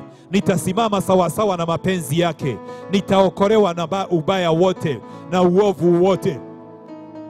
Rekabaganda baboshe rekabaganda baburia rekabaganda baboshe rekabaganda baboshe. Sema nakataa kuangamia, kwa sababu mimi sio mwana wa giza. Mimi nitatembea katika nuru, sitaangamia. Maisha yangu binafsi Usikubali kushindana na watu, usikubali kwenda na musisimuko. Mwambie Bwana, nitasimama, nitasimama, nitasimama, nitasimama. Shakabaganda baburia rekebegenda. Wengine ni nafasi mumepatiwa, wengine mmepatiwa nafasi. There is a window for you to redeem your life. Yesu akasema Yerusalem, heri mungejua wakati wa kutembelewa, lakini sasa mtavamiwa. Kuna mtu anapatiwa nafasi kabla wavamizi hawajakuja, kabla uharibifu haujakuja. Mungu amekupatia nafasi ukatubu, ukamrudie, ukafanye yaliyo mema, ukatii mwito, ukatekeleze mapenzi ya Bwana bila kuangalia watu wengine. Oh my God. Oh my God, Shela Baganda Baburia, Reka Baganda baboshi Reka Baganda Babos, Reka Baganda. Kuna watu wanajua Reka Baganda, Reka Baganda ni nini wanapaswa kufanya. Reka Baganda, ziba masikio. Reka Baganda Baboshi, usiulize watu watasema nini. Reka Baganda, Shatarabaganda, litie jina la Bwana nawe utaokolewa. Rekabaganda baboshe rekabaganda shatarabaganda. Usiseme unataka kufanana, kataa kufanana.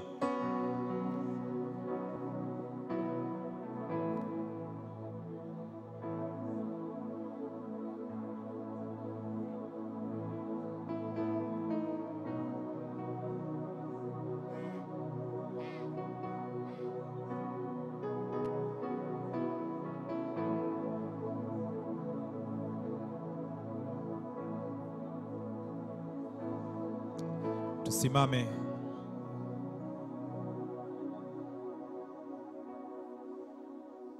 Tusimame kila mahali.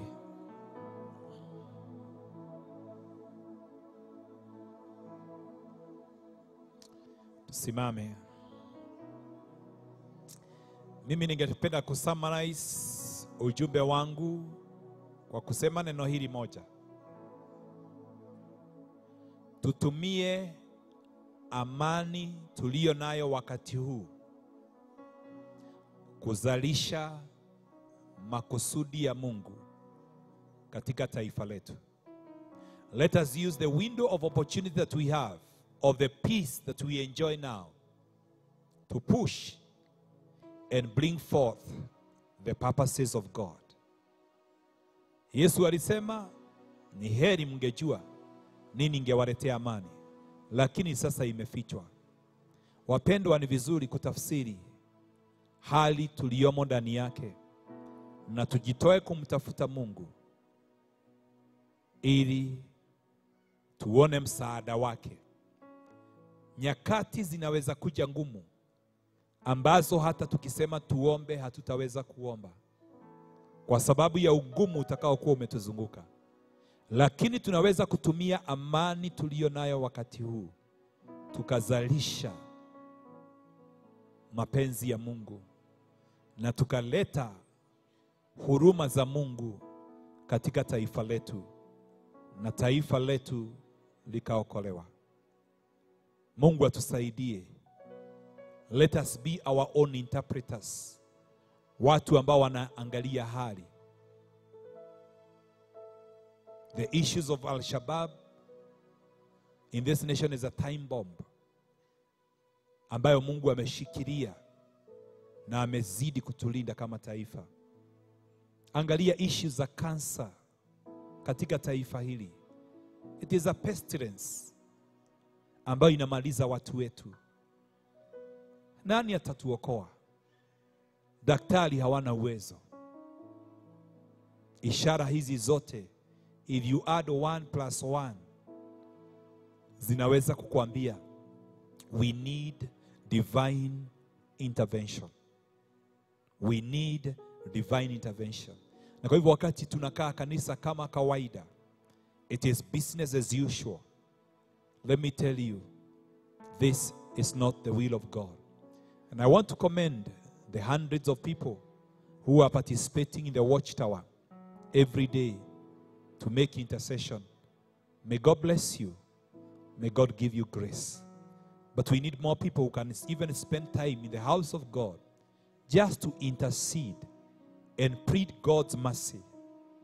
Let us use this window of opportunity that we have, this time when we have we are enjoying this peace. This time when the fullness of the oppression has not come upon us, tuweze kumtafuta Mungu. Because if you're not a good interpreter, Yesu alisema ya kwamba it is because you did not understand, you did not know how to interpret. That is why you missed your deliverance. People miss their deliverance. Kwa sababu wakati wanafaa while they read the writing on the wall, they are like Nebuchadnezzar. They are not able to interpret. There are so many writings on the wall, as I have mentioned, a few. But all of them are telling us that we need divine intervention.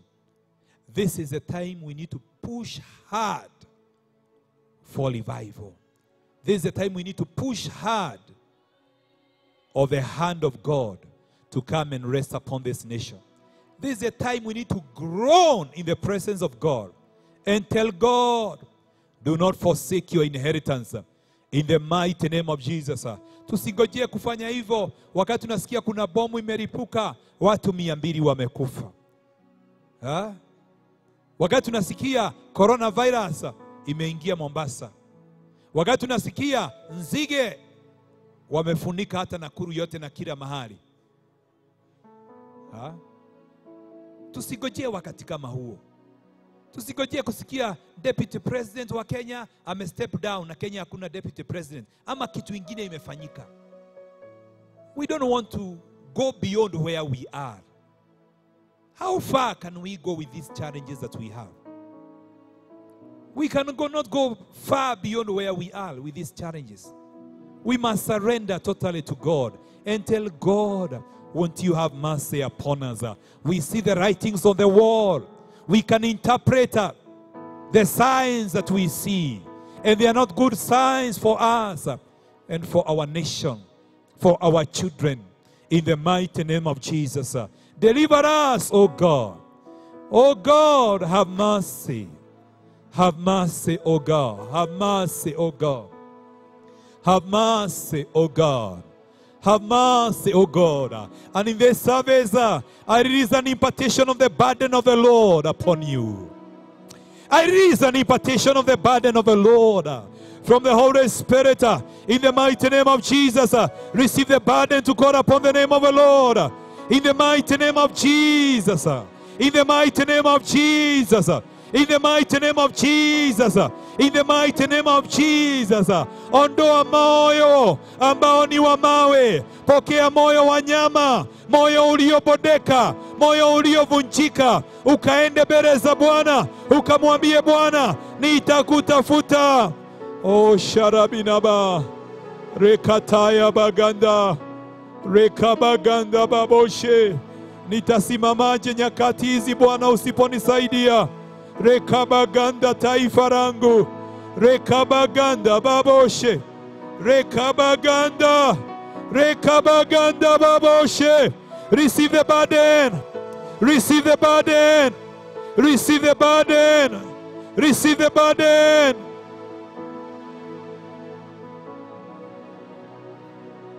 Oh my God. Oh my God. Sharabinaba. Shakabaganda baboshe. Rekabaganda baboshe. Rekabaganda baboshe. Rekabaganda ribabosaya. Shatarabaganda ribabose. Rekabaganda baboshe tereberia. Rekabaganda ribaboshe tereberia. Oh my God, oh my God, oh my God, oh my God, oh my God, Shatarabaganda, Shatarabaganda ribabose, Rekabaganda babo shatamaganda, Rekabaganda babose. Receive the burden, receive the burden, receive the burden, receive the burden. Shatarabaganda, Rekabaganda. How can we continue with such a high rate of unemployment of our young people? This is a time bomb. Wakati vijana wetu hawana kazi, tutaendelea kwa muda gani? Oh my God, si Mungu aingilie kati, si Mungu atusaidie kuzalisha makusudi yake, si Mungu atusaidie. Oh my God, shatarabaganda, tutagojea watu wangapi wafe na kansa? Tutangojea, tutangojea wangapi wafe, ndio tuanze kumwambia Bwana, oh, imetosha, imetosha, enough is enough, enough is enough.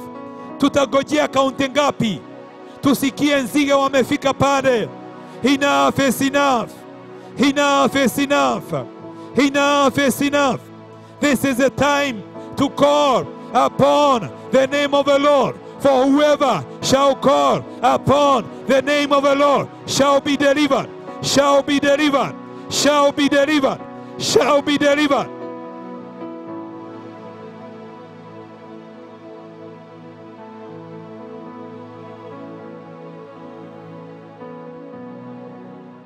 Tukatae kuzaa kwa uchungu, situmwambia wakati huu Bwana kuna amani, wakati huu Bwana kuna amani, nitakutafuta.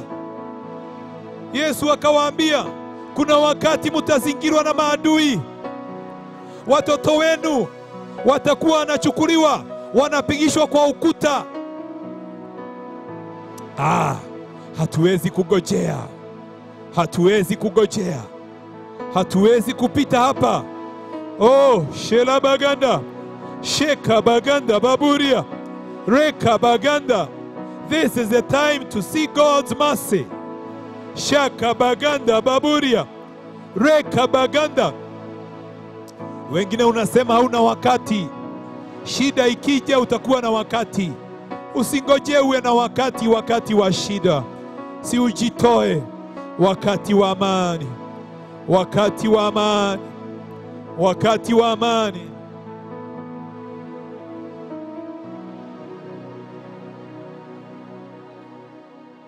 Oh my God, oh my King, have mercy, have mercy, have mercy, Lord. Have mercy, Jesus. Have mercy, have mercy. Have mercy. Shelaba.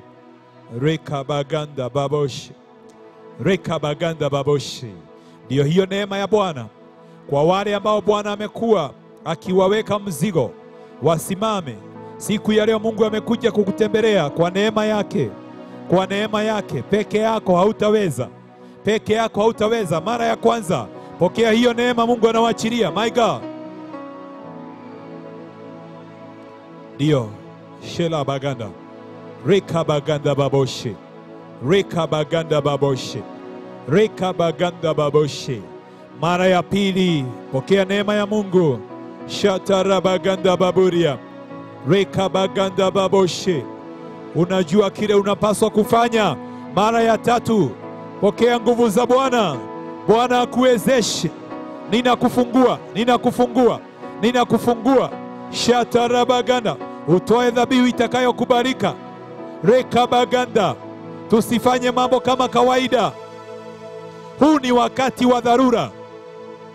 Huu ni wakati wa dharura. My God, my God, the deep calleth unto the deep, the deep, the deep, the deep, the deep calleth unto the deep, the deep. Oh my God, nani ataingia kilindini? Nani ataingia kilindini? Bwana akuguze na nguvu zake. Oh my God, sheta rabaganda shaka baganda, ndio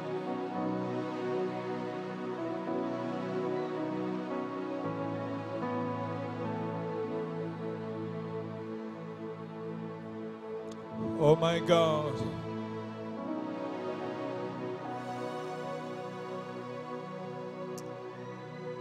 Usigoje hukumu ya Bwana, geuka, kubali maonyo ya Bwana. Kwa nini uhukumiwe? Kwa nini ungojee dhoruba?